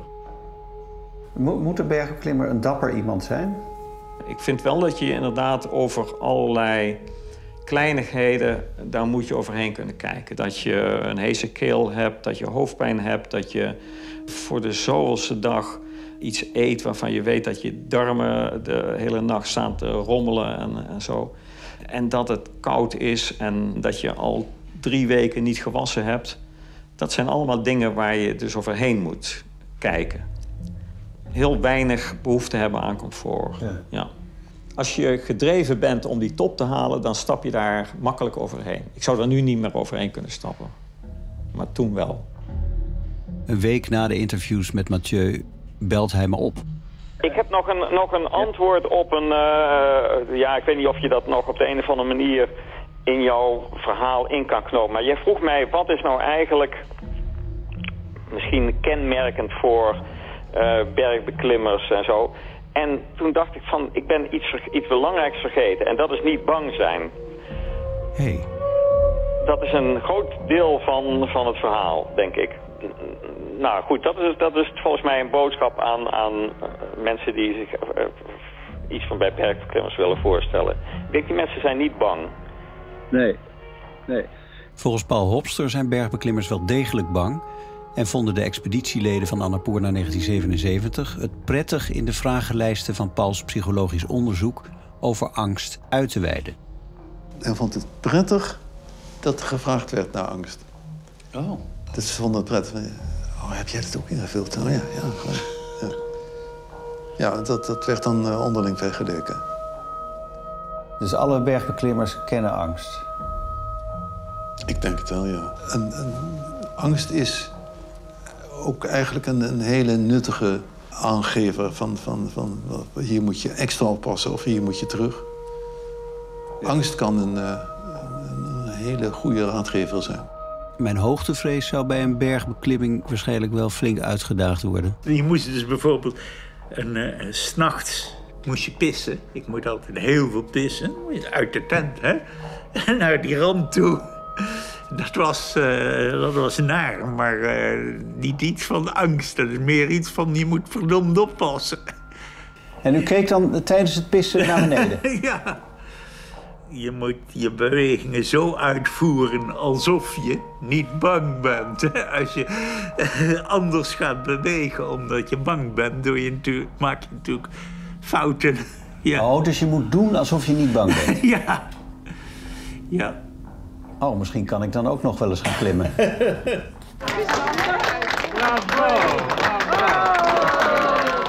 Terug op Schiphol is er een persconferentie in het Hilton Hotel. Iemand zei toen iets van, ik weet niet waarom ik mijn doncheck uitgedaan heb... maar vervolgens werd ik in het, eh, in het zwembad daar gegooid. Ja, Als grapje. als grapje, ja. Door de journalisten? Nee, nee, door ja, vrienden van, van, de, van de KNAF, van de Koninklijke Nederlandse Alpen, Alpenvereniging. Daarna volgde een ontvangst op Soesdijk bij de koningin. Dat was op een dag dat Mingma in Nederland was. Ja, dus hij liep daar ook in Soesdijk eh, op, eh, heel, heel ontspannen rond... en eh, had een gezellig praatje met de koningin. En eh, op een gegeven moment vroeg ik aan... eh, je moet natuurlijk heel beleefd zijn. Henk Hovinga. Aan de koningin gevraagd van... Kent u, kent u nu Paul? Bent u er al eens geweest? Een vrij impertinente vraag. Maar ze pakte haar glaasje jenever... nam een slok en zei met een grote grijns... daar heb ik geen tijd voor, want ik moet regeren. Dat doet Bernard maar. Met dank aan Mathieu van Rijswijk, Henk Hovinga, Jan van Banning, Gerard Jansen, Paul Hopster. En ik wou nog even de andere expeditieleden noemen. Charles Bonhomme, Maarten Briet, Eelco Dijk, Jan Palte, Lucas Wildervank en de Sherpas Sonam en Mingma, Ang Passang en Kleine Mingma, geen familie. Het laatste woord is aan Xander Verijn Stuart, geïnterviewd vlak na terugkomst in Nederland. Eh, we hebben nog heel veel verder te komen eer dat we ehm, de werkelijk moeilijke dingen gaan doen. Hoewel we in ons gezelschap na het succes nu toch wel zijn gaan praten over de mogelijkheid over een paar jaar eens een poging te doen om de Mount Everest te beklimmen. U luisterde naar Sisyphus, de podcast over de legendarische beklimmingen van Nederlandse alpinisten. En dit was het laatste deel van het vierluik over de beklimming van de Annapurna in 1977. De muziek van Sisyphus is van Alex Simou en werd uitgevoerd door Matthias Conrad trombone, George Dumitriou altviool en Alex Simou basklarinet. Montageadviezen Hans Aarsman, mixage Alex Boy, eindredactie Jair Stijn. Sisyphus is een podcast gemaakt voor de NTR en NPO Radio 1.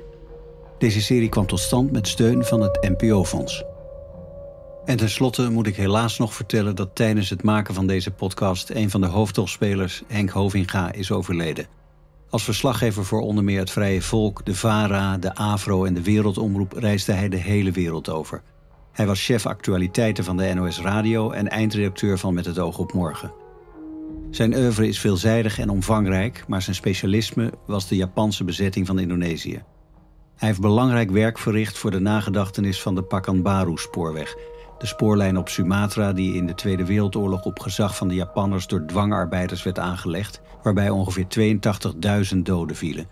Ik heb zelf veel gehad aan Henks huiveringwekkende verslag van de moord op de Chisalak, het verhaal van een Nederlandse vrachtvaarder die in 1944 op een Japanse onderzeeboot stuitte, waarna de 97 opvarenden om de beurt werden geëxecuteerd met bijlen, mokers, samurai-zwaarden en kogels.